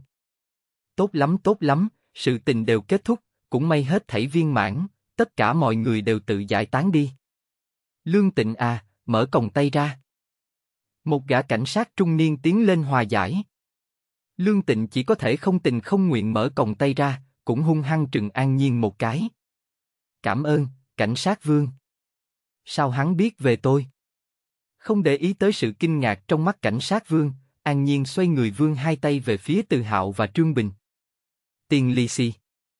WeChat, Alipay, hiện tại đều có thể, không hỗ trợ quẹt thẻ và thế chấp. Người này rốt cuộc đối với tiền lì xì là có bao nhiêu cố chấp? Lương Tịnh hận không thể một cước đá an nhiên xuống, tên đáng giận này hoàn toàn không để mình vào mắt. Ách! Bao nhiêu? Từ hạo liếc Lương Tịnh một cái, thấy cảnh sát không lên tiếng mới cẩn thận hỏi. Từ tiên sinh hai ngàn, vị tỷ tỷ này cũng là hai ngàn. Đệt, chỉ trong chốc lát đã kiếm được bốn ngàn. Cư dân mạng lại bùng nổ, nhao nhao kêu gọi Lương Tịnh nhanh chóng bắt lấy anh. Lương Tịnh quả thực muốn bị tức nổ tung, lần này mình đi ra vốn là đổi tâm tình, nhưng không như mong muốn, tâm tình của mình càng hỏng bét. Đây tính là cái gì? Công khai giao dịch dưới mí mắt cảnh sát. Cảnh sát có phải là công chứng viên không? Ta chuyển cho ngươi, bốn ngàn đúng không? Như thế giao dịch từ hạo cũng chưa bao giờ trải qua, thậm chí ngay cả hô hấp đều có chút cẩn thận từng ly từng tí. Không được. Của anh là của anh, của cô ấy là của cô ấy, không thể nói bừa được. À, Lương Tịnh quả thực muốn tức cười, không ngờ anh còn rất có nguyên tắc. Hai người tự hào cũng không hỏi nhiều, bọn họ tin tưởng an nhiên tự có đạo lý của hắn, dù sao quy củ này vẫn rất nhiều. Quét mã, chuyển tiền. Thỏa thuận được thực hiện dưới sự chứng kiến của cảnh sát đã chính thức được ký kết. Đột nhiên hai luồng năng lượng màu vàng từ hư vô xông thẳng vào trong cơ thể An Nhiên. An Nhiên chỉ cảm thấy cả người chấn động, tự như đánh vỡ gông xiềng nào đó, nhất thời cảm thấy tai thính mắt tinh, thân nhẹ như yến, toàn thân phản phất có khí lực dùng không hết, một cổ cảm giác thoát thai hoán cốt tự nhiên sinh ra. Công đức lực. Bốn chữ đột ngột hiện lên trong đầu An Nhiên, xem ra đây mới là thù lao lớn nhất mình nhận được. Không đợi An Nhiên tinh tế thể ngộ, thanh âm của cảnh sát vương liền vang lên bên tai mọi người. Các vị, theo chúng ta đi một chuyến đi. Thanh Minh Đạp Thanh vui vẻ đọc sách. Bổ sung 100 tặng 500 phiếu VIP. Thời gian hoạt động. Ngày 4 tháng 4 đến ngày 6 tháng 4. Chương 08 Mỹ nữ, ngươi là mắt mù sao? Bạn đang nghe tại truyện chấm audio. U, đây là ai chọc giận tiểu công chúa của chúng ta, đại khí tính như vậy. Lương Tịnh hung hăng trừng mắt nhìn thạch đội phó vô hình trước mắt. Chính là hắn nói với mình không cần một lòng một dạ tiến vào trong một vụ án, dễ dàng chui vào mũi trâu như vậy, thế nào cũng phải để cho mình đi theo xuất cảnh, thay đổi tâm tình, cũng thay đổi suy nghĩ, kết quả thật tốt, làm cho một bụng tức giận. Ai, ta nghe nói ngươi loạn dùng cảnh giới còn người nha, cẩn thận sư phụ ngươi biết còn phê ngươi. Thạch đội phó vẻ mặt ý cười, chẳng những không có một tia lo lắng, xem bộ dáng như vậy buồn cười còn ước gì Lương Tịnh nhanh chóng bị phê bình. Lương Tịnh liếc mắt nhìn đội phó này. Ta mới không sợ, chỉ cần ngươi quản tốt miệng của ngươi, sư phụ mới sẽ không biết. Ách! Thạch đội phó nhất thời im lặng, mặt lộ ra một tia xấu hổ. Không tốt. Lương Tịnh vừa mới ngồi xuống thân thể đằng một cái vọt lên. Ngươi! Đối mặt Lương Tịnh trợn mắt nhìn, thạch phó đội trưởng ngượng ngùng gãi gãi đầu, hắc hắc hắc, cười mỉa. Hắn là đội trưởng nha, quan lớn một cấp đè chết người, ta đây không phải cũng không có biện pháp nha. Lương Tịnh lập tức bắt đầu hung hăng nhéo miệng thạch phó đội trưởng. Ngươi cái miệng này a, ta sớm muộn gì cũng phải vặn nó cho ngươi. Vừa nói xong, Lương Tịnh lập tức hướng văn phòng đội trưởng chạy tới, hiện tại đi chủ động nhận sai, dù sao cũng tốt hơn bị đội trưởng tự mình gọi tới. Thái độ rất quan trọng. Thái độ của An Nhiên cũng rất tốt, quả thực có thể làm tấm gương. Tất cả đều là ngươi đoán. Làm sao có thể? Tôi dựa trên nguyên lý tâm lý học, kết hợp với lý thuyết tướng thuật truyền thống của Trung Quốc, tổng hợp rất nhiều ví dụ, cuối cùng đi đến những kết luận này. Đây là khoa học, cũng không phải mê tín phong kiến. Cảnh sát đối diện nghe đến trợn trắng mắt. Ta tin ngươi cái quỷ, ngươi tâm lý học liền ngưu bức. Ồ, anh học tâm lý là có thể nhìn ra gia đình đơn thân của đối phương. Có thể biết quá khứ nhân sinh của đối phương. Còn có thể biết có người muốn đi lên, để cho người ta cho qua trước. Anh còn giỏi hơn cả thầy bói tu riêng. Bất quá an nhiên một mực khẳng định đây chính là phân tích đạt được, chính là khoa học, cảnh sát cũng không có biện pháp, Dù sao An Nhiên quả thật không phạm pháp, bọn họ giờ phút này đến cục cảnh sát cũng chỉ là phối hợp làm cái ghi chép mà thôi. Huống hồ đối với loại thần nhân không cùng lĩnh vực với bọn họ, trong lòng tiểu cảnh sát này ít nhiều còn có loại kính sợ. Gánh vác gánh vác. Tiếng bước chân nặng nề cho thấy người tới rất khó chịu. Lương Tịnh mặt đầy sương lạnh đi về phía An Nhiên, ánh mắt hung tận hận không thể xé An Nhiên. Từ Hạo và Trương Bình cũng đang ghi chép, tay không khỏi đổ mồ hôi hột, chỉ liếc mắt một cái đã bị khí thế cường đại của Lương Tịnh chấn thương, cuốn quyết cúi đầu xuống. Từ Hạo lại càng cảm khái, xinh đẹp là thật xinh đẹp, nguy hiểm cũng là thật nguy hiểm. Mỹ nữ người ta tốt xấu gì cũng có chút gai, vị này cả người cắm đầy lợi kiếm a, vẫn là loại rèn qua độc. Ừ, vẫn là Trương Bình nhà mình thì tốt hơn. Lương Tịnh đi tới trước người An Nhiên dừng lại, hít sâu một hơi, hai mắt nhắm lại, răng bạc cắn một cái, giống như chịu chết bình thường quyết tuyệt, cúi người 90 độ. Không xứng đáng. Cục cảnh sát ồn ào lập tức trở nên lặng nhắc như tờ, tất cả mọi người bị một màn trước mắt này khiếp sợ không ngậm miệng lại được. Coi như bái chết người. Lương Tịnh không phục thầm nghĩ. Vừa rồi, đội trưởng hung hăng phê bình cô một trận, còn giao trách nhiệm cho cô đi xin lỗi An Nhiên, nếu không một khi An Nhiên khiếu nại, sẽ có kết quả tốt cho cô ăn.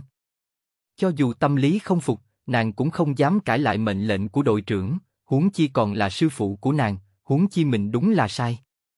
Dọc đường lương tịnh tẩy não mình không biết bao nhiêu lần, nhưng khi cô nhìn thấy vẻ mặt như cười như không của An Nhiên, thật giống như tất cả đều nằm trong lòng bàn tay của anh, cô liền tức giận. Cũng không đợi An Nhiên trả lời, Lương Tịnh tự mình đứng dậy đi tới vị trí của mình. Chi? Đông. Đau cái ghế ba giây.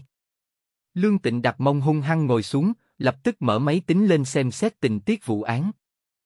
Một bộ lão nương rất tức giận, trêu chọc lão nương giả chết hung ác khí tức hừng hực bộc phát.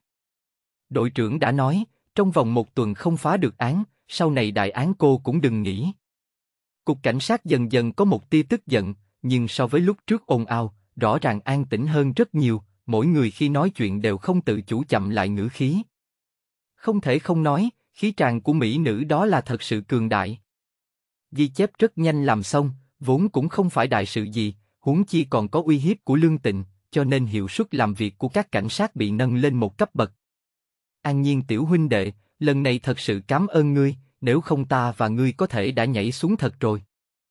Còn có một ít thủ tục phải làm, trong thời gian rảnh rỗi từ hạo lại hướng an nhiên biểu đạt cảm tạ. Không có gì, vui vẻ giúp người là việc mà thanh niên chúng ta nên làm, nhưng chuyện kế tiếp từ tiên sinh có thể do anh bận. Từ hạo vừa nghe trong lòng lập tức căng thẳng. Chẳng lẽ dây thường chuyên chọn chỗ nhỏ đoạn, vận rủi chuyên chọn người số khổ. Đừng khẩn trương, bởi vì cái gọi là hòa hề phúc chi sở ỷ, phúc hề hòa chi sở phục, có đôi khi giới hạn phúc hòa rất mơ hồ, ngươi cho rằng chuyện xấu rất có thể là phúc khí của ngươi. Tự hào trong lòng đại định, một trái tim treo lơ lửng lập tức buông xuống, vội vàng thỉnh giáo. Không cần gọi ta là tiên sinh, gọi ta là tự hạo là được. Không biết kế tiếp ta. Lương Tịnh ném ánh mắt hung tợn qua, tự hạo sợ tới mức lập tức im lặng. An Nhiên cũng không nuông chiều nàng. Bất quá lời nói phía dưới cũng ít nhiều có chút không tiện truyền ra ngoài, liền ghé vào bên tai tự Hạo nói thầm. Ánh mắt Từ Hạo càng ngày càng sáng, khóe miệng càng nhếch lên, không ngừng gật đầu đồng ý. An Nhiên tiểu huynh đệ yên tâm, ta nhất định làm theo. Cái kia, chi phí. Từ Hạo lấy di động ra hỏi An Nhiên. Phí tổn gì, không phải anh đã trả rồi sao, coi tôi là thần côn thật sao? Chẳng lẽ không phải sao? Đương nhiên lời này Từ Hạo cũng không dám nói. Thế nào, Tiểu Tịnh, có suy nghĩ gì không? Tôi nghe đội trưởng nói vụ án này giới hạn một tuần mà. Thạch đội phó tựa vào vị trí Lương Tịnh trêu ghẹo nói. Lương Tịnh trợn trắng mắt. Có cái gì muốn chỉ giáo cứ nói thẳng, không có thì đừng tới làm phiền ta. Nói như thế nào đây, một chút cũng không biết kính già yêu trẻ. Đội phó Thạch gõ nhẹ lên đầu Lương Tịnh. Lương Tịnh không để ý tới anh, lúc này nói với mình kính già yêu trẻ, lúc báo cáo từ nhỏ đi làm gì. Được rồi, có ý kiến gì thì nói nghe một chút. Không có suy nghĩ gì cả. Giọng Lương Tịnh có chút vô lực. Vụ án này đã kéo dài một tháng, đi thăm hiện trường cũng đã làm qua, nhưng một chút manh mối cũng không có. Thạch phó đội trưởng đương nhiên biết vụ án này, kỳ thật vụ án này cũng không phức tạp, chỉ đơn giản là cùng nhau gây tai nạn bỏ chạy, khiến người ta tử vong. Có thể khó là thời gian xảy ra tai nạn là buổi tối, mà thủ phạm Hoàng Mỹ tránh né tất cả camera. Chỉ có một camera bình thường do một cư dân tự lắp đặt ghi lại quá trình gây tai nạn và tai nạn xe cộ. Nhưng độ rõ nét cực kém, cho nên tư liệu hình ảnh chụp được hoàn toàn không thể cung cấp manh mối gì. Một tháng qua Lương Tịnh không phải không đi kiểm tra xe cộ một chút, nhưng muốn tìm ra chiếc xe gây tai nạn kia trong cả thành phố gần như có thể nói là mò kim đáy bể. Nếu không ta cùng ngươi lại đi thăm hỏi, nhìn xem có cái gì bỏ sót. Đội phó thạch cũng hiểu, đơn thuần xem những hình ảnh tư liệu này là vô dụng, anh chính là đem đầu cắm vào, nên thấy không rõ vẫn là thấy không rõ. Vậy được rồi. Lương Tịnh vô lực đứng dậy, kỳ thật ghi chép thăm hỏi cô đã làm rất chi tiết, nhưng là một tháng cũng không có manh mối gì, làm cho cô đều có chút không tự tin. Mắt thấy Lương Tịnh sắp tắt máy tính, một giọng nói trào phúng đột nhiên truyền đến. Người đẹp, cô bị mù à? Thanh Minh Đạp Thanh vui vẻ đọc sách. Bổ sung 100 tặng 500 phiếu VIP. Thời gian hoạt động. Ngày 4 tháng 4 đến ngày 6 tháng 4. Chương 09. Ngượng ngùng, phách lối không phạm pháp. Bạn đang nghe tại truyện chấm audio. Sức ảnh hưởng của mỹ nữ là rất lớn, từ thời khắc lương tịnh xuất hiện, tâm của các nam cảnh sát độc thân bắt đầu sao động. Cho dù là đang cố gắng làm việc, nhưng đôi mắt kia vẫn không ngừng liếc về phía cô. Mà một câu nói của An Nhiên, khiến cho văn phòng vừa mới khôi phục một tia sức sống lại trở nên có thể nghe thấy. Còn có những cảnh sát sao động kia, theo sát lương tịnh hướng An Nhiên ném tới ánh mắt phẫn nộ. Người trẻ tuổi, làm người cũng không nên quá kiêu ngạo, nơi này là cục cảnh sát. Thạch phó đội trưởng ánh mắt hiền lành nhìn về phía An Nhiên, tri kỷ nhắc nhở hắn. Lương Tịnh chính là hắn nhìn lớn lên, tự như nửa nữ nhi của mình. Nữ nhi của mình có thể khi dễ, ngươi là người ngoài, không muốn sống. Lương Tịnh không nói gì, cặp mắt phun lửa kia đã nói rõ tất cả. Phẫn nộ nương theo ủy khuất giống như sóng lớn ngập trời thổi quét mà đến, một tháng qua mình vì vụ án này đi sớm về tối, ngày đêm đi thăm dò điều tra. Chính mình vì cái gì, không sai, đây là khảo nghiệm hạng nhất đội trưởng cho cô, nhưng phần lớn vẫn là vì một phần tín niệm trong lòng, vì chức trách của cảnh sát. Nhưng cho dù như vậy, cũng bởi vì mình không thể phá án, sẽ không có tên đáng ghét trước mắt này tùy ý trào phúng. Chẳng lẽ mình làm cảnh sát chính là vì bảo vệ cặn bã như vậy sao? Thật ngại quá, kiêu ngạo không phạm pháp. À, kiêu ngạo là không phạm pháp, nhưng là ngươi vô duyên vô cớ vũ nhục cảnh sát nhân viên, chẳng lẽ cũng không phạm pháp? Thạch đội phó không hổ là một lão cảnh sát, quả nhiên tư duy nhanh nhẹn, kinh nghiệm lão luyện. Xin lỗi. Đúng vậy, xin lỗi. Nhanh lên xin lỗi. Quân tỉnh phẫn nộ, nếu như không phải đang ở cục cảnh sát, mà đối phương lại là cảnh sát, chỉ sợ an nhiên đánh trận này nhất định là không thể thiếu. Chút ủy khuất này không chịu nổi, vậy niềm tin làm cảnh sát của anh cũng không kiên định lắm. Lời nói bình thản của An Nhiên không khỏi khiến Lương Tịnh hít thở trì trệ. Làm sao hắn biết? Trong nháy mắt, ủy khuất cùng phẫn nộ như thủy triều rút đi, ánh mắt xinh đẹp tạo thành khôi phục thanh minh. Không sai, còn có cứu. Thạch đội phó cũng có chút yên lặng, Lương Tịnh nha đầu này tính cách gì hắn không thể hiểu rõ hơn, tính như liệt hỏa, động như thỏ chạy, có lúc nhiệt huyết thượng đầu còn có chút cố chấp. Đây cũng là nguyên nhân vì sao đội trưởng chậm chạp không muốn để cô tiếp nhận vụ án lớn, dùng lời đội trưởng mà nói chính là còn cần tôi luyện. Nhưng mà, cảm xúc lương tịnh thủy triều lên thủy triều xuống dĩ nhiên chỉ ở trước mắt vị người trẻ tuổi này trong một câu nói, cái này không thể không để cho hắn bắt đầu nhìn thẳng vào vị người trẻ tuổi này. Ngươi nói ta mắt mù, ngươi có cái gì căn cứ, nếu là không có, ta nhưng là muốn kiện ngươi. Mọi người đều nói, trong cuộc mơ hồ, ngoài cuộc tỉnh táo. Nhưng trước mắt, người có thẩm quyền đã bình phục lại nỗi lòng, mà những người đứng xem kia lại như trước nghĩa phẫn khó bình. An Nhiên đứng dậy, không nhìn ánh mắt tức giận kia, trực tiếp đi tới trước máy tính lương tịnh kiểm tra. Công dân bình thường kiểm tra máy tính của nhân viên cảnh sát, đây cũng là hành vi phạm pháp. Vì thế, lập tức liền có cảnh sát mặc kệ, muốn tiến lên ngăn lại, bất quá lại bị thạch phó đội trưởng một cái ánh mắt đem hắn cho ngăn lại. An Nhiên nhanh chóng xem qua một lần hình ảnh video theo dõi, diễn xuất phải diễn trọn bộ, hắn cũng không muốn lại bị chụp lên một cái mũ mê tín phong kiến. Xem xong, An Nhiên vương hai ngón tay về phía Lương Tịnh. Mọi người thì là vẻ mặt mơ hồ. Ý anh là sao? Tay kéo. Phải không? An Nhiên bất đắc dĩ liếc mắt, đám phàm nhân này, cũng không cần ăn cơm sao? Sống một chút cũng không thực tế. Hai ngàn đồng. Chết tiệt. Hòa là muốn tiền a. Được rồi, buôn bán làm đến cục cảnh sát cũng tạm được. Ngay tại chỗ liền có cảnh sát uống nước nhìn không được phun ra một đạo rồng nước, càng có rất nhiều nghi phạm bị cảnh sát thẩm vấn hướng an nhiên ném tới ánh mắt sùng bái. Ca, ngươi còn muốn tiểu đệ sao?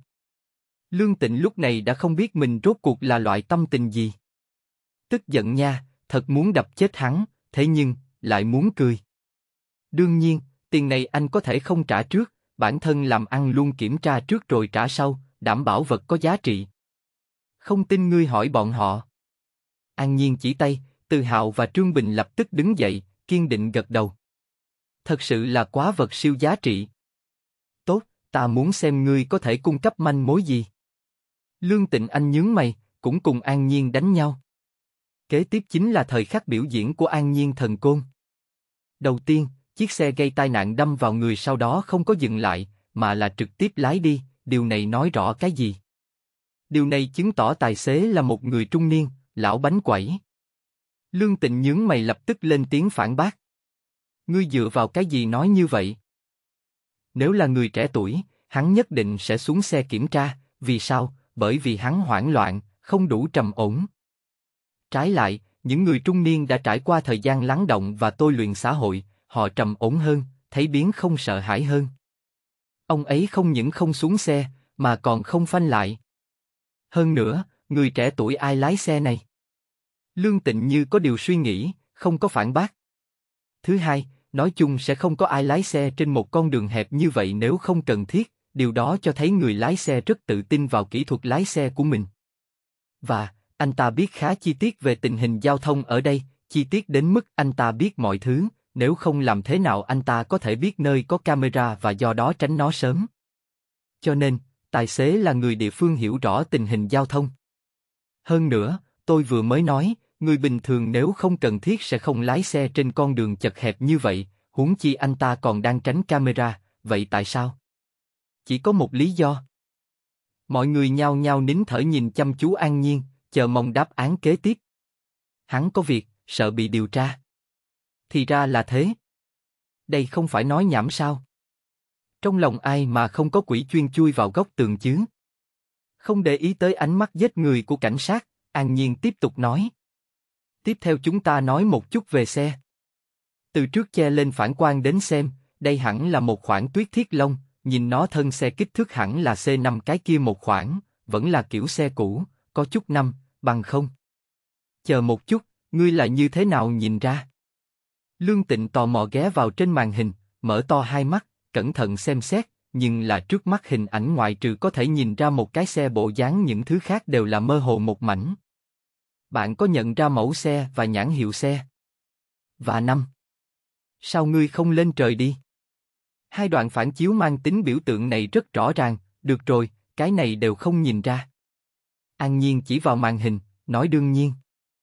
Trước máy tính lập tức có một đám cảnh sát vây quanh, thậm chí thạch phó đội trưởng cũng súng lại, bọn họ nhìn kỹ, hận không thể cắm đầu vào trong máy tính, nhưng vẫn không nhìn ra gì. Làm ơn, ngươi không cần nói nhẹ nhàng như vậy tự nhiên có được hay không, như vậy có vẻ chúng ta rất ngốc. Cảnh sát không cần mặt mũi sao? Lương Tịnh lại dùng ánh mắt khác thường nhìn An Nhiên.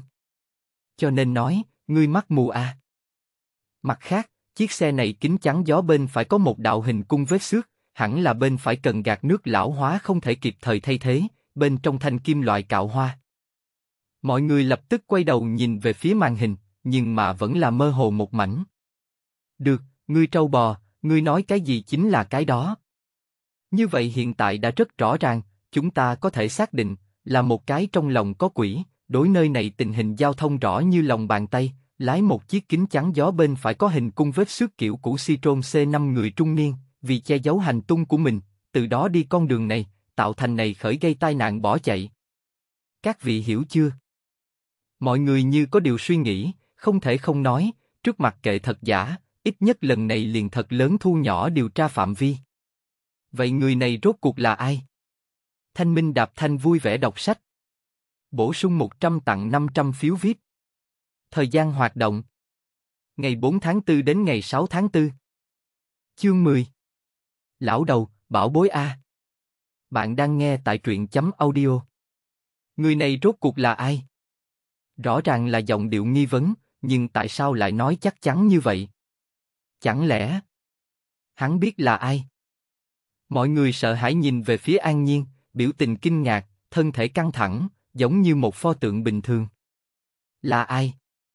Lòng bàn tay lương tịnh khẩn trương đổ mồ hôi, hai chữ vô cùng đơn giản nói ra, ngay cả thanh âm cũng có chút run rẩy. Câu đố quấy nhiễu mình một tháng, chẳng lẽ sắp có đáp án rồi sao? Cảnh sát lương, còn có các vị, tôi muốn hỏi các vị một vấn đề. Mọi người đều chăm chú lắng nghe, sợ bỏ qua bất cứ chi tiết nào. Mỗi ngày trên đường đi các cậu đều gặp phải camera. Mọi người đồng loạt gật đầu. Vậy mọi người có biết sự phân bố camera trên đường đi không? Mọi người mờ mịt, ai ăn no không có việc gì làm nhớ cái này. Không biết đúng không, như vậy vấn đề tới, cái này gây tai nạn tài xế làm sao liền như vậy hiểu rõ đâu này. Đáp án chỉ có một. Lương Tịnh giờ phút này rốt cục hiểu rõ, lập tức hưng phấn giơ tay. Ta, ta, ta. Tốt lắm, xem ra đã có người biết đáp án, vị lương đồng học này, ngươi nói. Bạn học. Nơi này đến tột cùng là cục cảnh sát hay là phòng học? Bất quá giờ phút này không ai sẽ để ý những thứ này, bọn họ đều đem ánh mắt hướng về phía lương tịnh, một bên chờ mong vị mỹ nữ cảnh sát này đưa ra đáp án, một bên lại âm thầm ảo não vì sao mình lại ngốc như vậy. Lương Tịnh bình phục tâm tình của mình một chút, giờ phút này cô rất có chút trở lại cảm giác lúc đi học. Mình chính là học sinh vì biểu hiện thông minh mà liều mạng tranh đoạt phát biểu, mà An Nhiên chính là lão sư vẻ mặt vui mừng cổ vũ mình. Thật hoang đường a. Bất quá loại cảm giác này, rất thích. Bởi vì mấy cái camera này. Được rồi, không cần phải nói, đi tra đi. Khủ khụ, khụ, khụ. Lương Tịnh thiếu chút nữa không bị nghẹn chết, một trương hưng phấn mỹ nhan nghẹn đỏ bừng, tim tim ngọc thủ không ngừng đấm đánh bộ ngực no đủ, thật lâu một trận sóng lớn mãnh liệt. Cố ý. Người này tuyệt đối là cố ý. Lương Tịnh hừ lạnh một tiếng, hung hăng liếc An Nhiên một cái, lập tức hưng phấn chạy ra ngoài cục cảnh sát. À, đúng rồi. Lương Tịnh thắng gấp một cái, thiếu chút nữa ngã xuống, sau khi đứng lại thân thể đè nén lửa giận trong lòng, hung hăng nhìn chầm chầm An Nhiên. Cố ý. Tên này chính là cố ý. Anh phải cân nhắc đầy đủ đến tình hình nước ta, sau khi nhà thầu nhận được công trình tầng tầng chuyển nhượng cũng không ít. Lúc này mọi người cũng dần dần phản ứng lại, ánh mắt nhìn An Nhiên cũng có chút ý tứ khó hiểu. Đây mẹ nó vẫn là người sao? Video mơ hồ thành cái bộ dáng quỷ kia ngươi cũng có thể nhìn ra nhiều chi tiết như vậy, có bản lĩnh này sao ngươi không đem biển số xe nói ra a? Cái vòng tròn lớn này cho ngươi đi vòng. Thu danh sơn xa thần đến cũng phải phun ra mấy ngụm nước chua. Hai gã cảnh sát yên lặng đi tới lương tịnh bên người, cho dù có manh mối, phía dưới công tác cũng không phải một người có thể hoàn thành. Nhưng lương tịnh lại không có ý định xoay người, vẫn gắt gao nhìn chầm chầm an nhiên. Quá tham lam đi. Có nên nói biển số xe cho em không? Đồng tử lương tịnh nháy mắt phóng đại, cô chỉ phẫn uất trong lòng, rồi lại không thể động thủ, chỉ có thể ký thác ánh mắt hung ác của cô cho người đàn ông đáng giận trước mắt này một chút uy hiếp. Không ngờ còn có kinh hỉ ngoài ý muốn. Ca ca ca ca. Đó là tiếng vặn cổ. Bọn họ nghe được gì? Biển số xe. Ngươi mẹ nó đã sớm biết, ngươi ngược lại nói sớm a. Thế nào cũng phải như lọc vào sương mù xoắn ốc thăng một lần ngươi mới thả ra đáp án cuối cùng. Lão tử hì hì thật vất vả mới leo tới đỉnh núi, kết quả ngươi nói cho ta biết bên kia có thang máy. Thế nào? Như vậy mới thể hiện năng lực của ngươi. Vậy ngươi không nói sớm. Lương Tịnh không thể nhìn được nữa quát. Cố ý. Tên này chính là cố ý muốn mình xấu mặt. Quả nhiên đáng giận đến cực điểm. Các ngươi cũng không hỏi. An Nhiên cảm thấy rất oan uổng. Xoẹt xoẹt. Xoẹt xoẹt. Hình như là tiếng nghiến răng. Một cổ khí tức điềm xấu hướng an nhiên bao phủ mà đến. Cảm xúc phẫn nộ hóa thành sóng lớn ngập trời, sóng lớn mãnh liệt trong cục cảnh sát bình tĩnh. Ngươi còn có lý. Chúng tôi không hỏi. Nhưng ai mẹ nó có thể nghĩ đến một người bình thường có thể từ mơ hồ trong video nhìn thấy biển số xe A. Nói đi. Nếu như ngươi không muốn chết. Đây là từ trong kẻ răng nặng ra thanh âm, thiệt thòi bình yên trải qua công đức lực cường hóa, bằng không thật đúng là nghe không ra nàng nói cái gì. Chết tiệt. Đe dọa tôi. Tiền cũng không trả, ngươi dựa vào cái gì? Có tin tôi khiếu nại anh hay không? Nhưng mà An Nhiên nhìn thấy ánh mắt hiền lành của mọi người, lập tức thành thật khai báo biển số xe ra. Cảnh dân không phân gia, chân thành hợp tác vì mọi người mà. Là một thanh niên tiến bộ, An Nhiên từ nhỏ đã lập được lời thề vĩ đại. Tôi không đội trời chung với tội lỗi. Trần Ai kết thúc, An Nhiên cùng Từ Hạo bọn họ cũng ở một đám cảnh sát, hoang tiễn ra khỏi cục cảnh sát. Nói chính xác là An Nhiên, Từ Hạo cùng Trương Bình cũng không dám cùng hắn cách quá gần. Vừa ra khỏi cục cảnh sát Từ Hạo liền vẫy tay tạm biệt An Nhiên, thân ảnh vội vàng kia hận không thể lập tức mang theo Trương Bình đi thật xa, chậm một bước hắn sợ các cảnh sát quá mức nhiệt tình mà làm bị thương bọn họ. An Nhiên đưa tay ra, thiên cơ bàn lóe lên ánh sáng nhạt lập tức xuất hiện trên tay. Âm dương ngư chậm rãi bơi, kéo theo các cung khác cũng chậm rãi chuyển động. Vẫn huyền ảo khó tả như vậy. Quay đầu lại chuyện xảy ra hôm nay, khắp nơi đều có bóng dáng thiên cơ bàn. Giống như từ khi có nó, toàn bộ cuộc sống của mình đều thay đổi. Thu hồi thiên cơ bàn, An Nhiên liền đi về phía nhà. Cửa hàng thầy bói của sư phụ, tạm thời gọi nó là nhà đi. Nơi có lão già đó là nhà. Hôm nay lại là một ngày không tìm được việc làm, nhưng vậy thì sao? Mình kiếm được 4.000 tệ, còn 2.000 tệ ở trên đường, an nhiên không sợ mỹ nữ cảnh sát quyệt nợ chút nào. Nợ quẻ kim không trả. Ngươi là muốn bị trời phạt sao? Hay là bổ mấy đạo lôi cùng ngươi chơi đùa? Lão đầu. Tiểu gia nhà ngươi đã trở lại. Mau mau tiếp giá. Vèo. Một mũi tên sắc bén và tiếng xé gió chợt bay về phía An Nhiên. An Nhiên thuận tay vung lên, chỉ dùng hai ngón tay liền dễ dàng tiếp nhận. Động tác nhẹ nhàng nhẵn nhụi, giống như cách không hái hoa tùy ý. Quẻ ký ở giữa ngón tay xoay tròn bay múa, An Nhiên lẳng lơ lắc đầu. Lão đầu, thế nào, ta trâu bò không? Ngưu bức, đương nhiên ngưu bức. Nếu là ngày xưa, đối mặt quẻ ký An Nhiên chạy như bay tới chỉ có thể tránh né. Nhưng hắn bây giờ, lúc này không giống ngày xưa. Hừ. Từ tận cùng trong phòng chậm rãi đi ra một lão nhân tinh thần quắc thước. Ông lão không cao, chỉ đến vị trí bả vai an nhiên, dáng người gầy gò, khoảng hơn 60 tuổi. Nhưng ánh mắt lão đầu cực kỳ sáng ngời, tinh thần sảng khoái, hai tay cổng sau lưng, sống lưng thẳng tắp, chỉ nhìn tinh thần không hề kém so với người trẻ tuổi. Lão đầu chính là sư phụ của An Nhiên, Trương Nghĩa. Trở về muộn như vậy. Tiểu tử ngươi tìm được việc chưa? Ai? Lão đầu, ngươi còn chưa nói ta trâu bò không? Trương Nghĩa không lưng, cầm lấy chính mình giày vải, trừng mắt nói. Ngươi trước xem ta giày vải ngưu bức không? Nói xong liền làm thức muốn đánh. An Nhiên vội vàng nhảy ra tránh né. Lão đầu, ngươi một phen tuổi rồi, như thế nào còn táo bạo như vậy, khí đại thương can a. Hừ. Lão đầu một lần nữa mang giày trở lại, thanh âm nhàn nhạt truyền vào trong tai An Nhiên. Huấn luyện ngươi gần 20 năm, hôm nay ngươi mới có thể tiếp được, có cái gì tốt được sắc? Muốn đổi sư phụ ta, tiểu tử ngươi đã sớm bị đánh phế rồi. An Nhiên cũng không giận, lập tức lớn người hỏi. À, sư gia nghiêm khắc như vậy. Đó là đương nhiên, hắn thế nhưng. Lão đầu đột nhiên ngừng nói. Tiếp tục đi, tôi thích nghe phía sau. An Nhiên vẻ mặt chờ mong.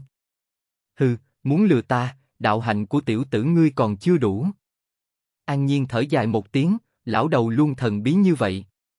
Sư phụ, ta là vì tốt cho ngươi a, ngươi nghĩ ngươi đều lớn tuổi như vậy, cả đời lại tiết lộ nhiều như vậy thiên cơ, vạn nhất ngày nào đó ngươi đột nhiên nấc trắm, ta phải đem ngươi đưa về phần mộ tổ tiên a. Ta đi đại gia ngươi. Ngươi là tiểu tử vô liêm sỉ, mỗi ngày nguyền rủa lão tử chết. Trong phòng không lớn lần nữa tràn ngập tiếng mắng chửi của hai người. Đây chính là hai người hàng ngày, nhìn như thô bỉ không chịu nổi, thế nhưng này làm sao không phải là ấm áp thuộc về bọn họ đây? Ai, lão đầu, cho ngươi xem một thứ, bảo bối nha. Thanh Minh Đạp Thanh vui vẻ đọc sách. Bổ sung 100 tặng 500 phiếu VIP. Thời gian hoạt động. Ngày 4 tháng 4 đến ngày 6 tháng 4.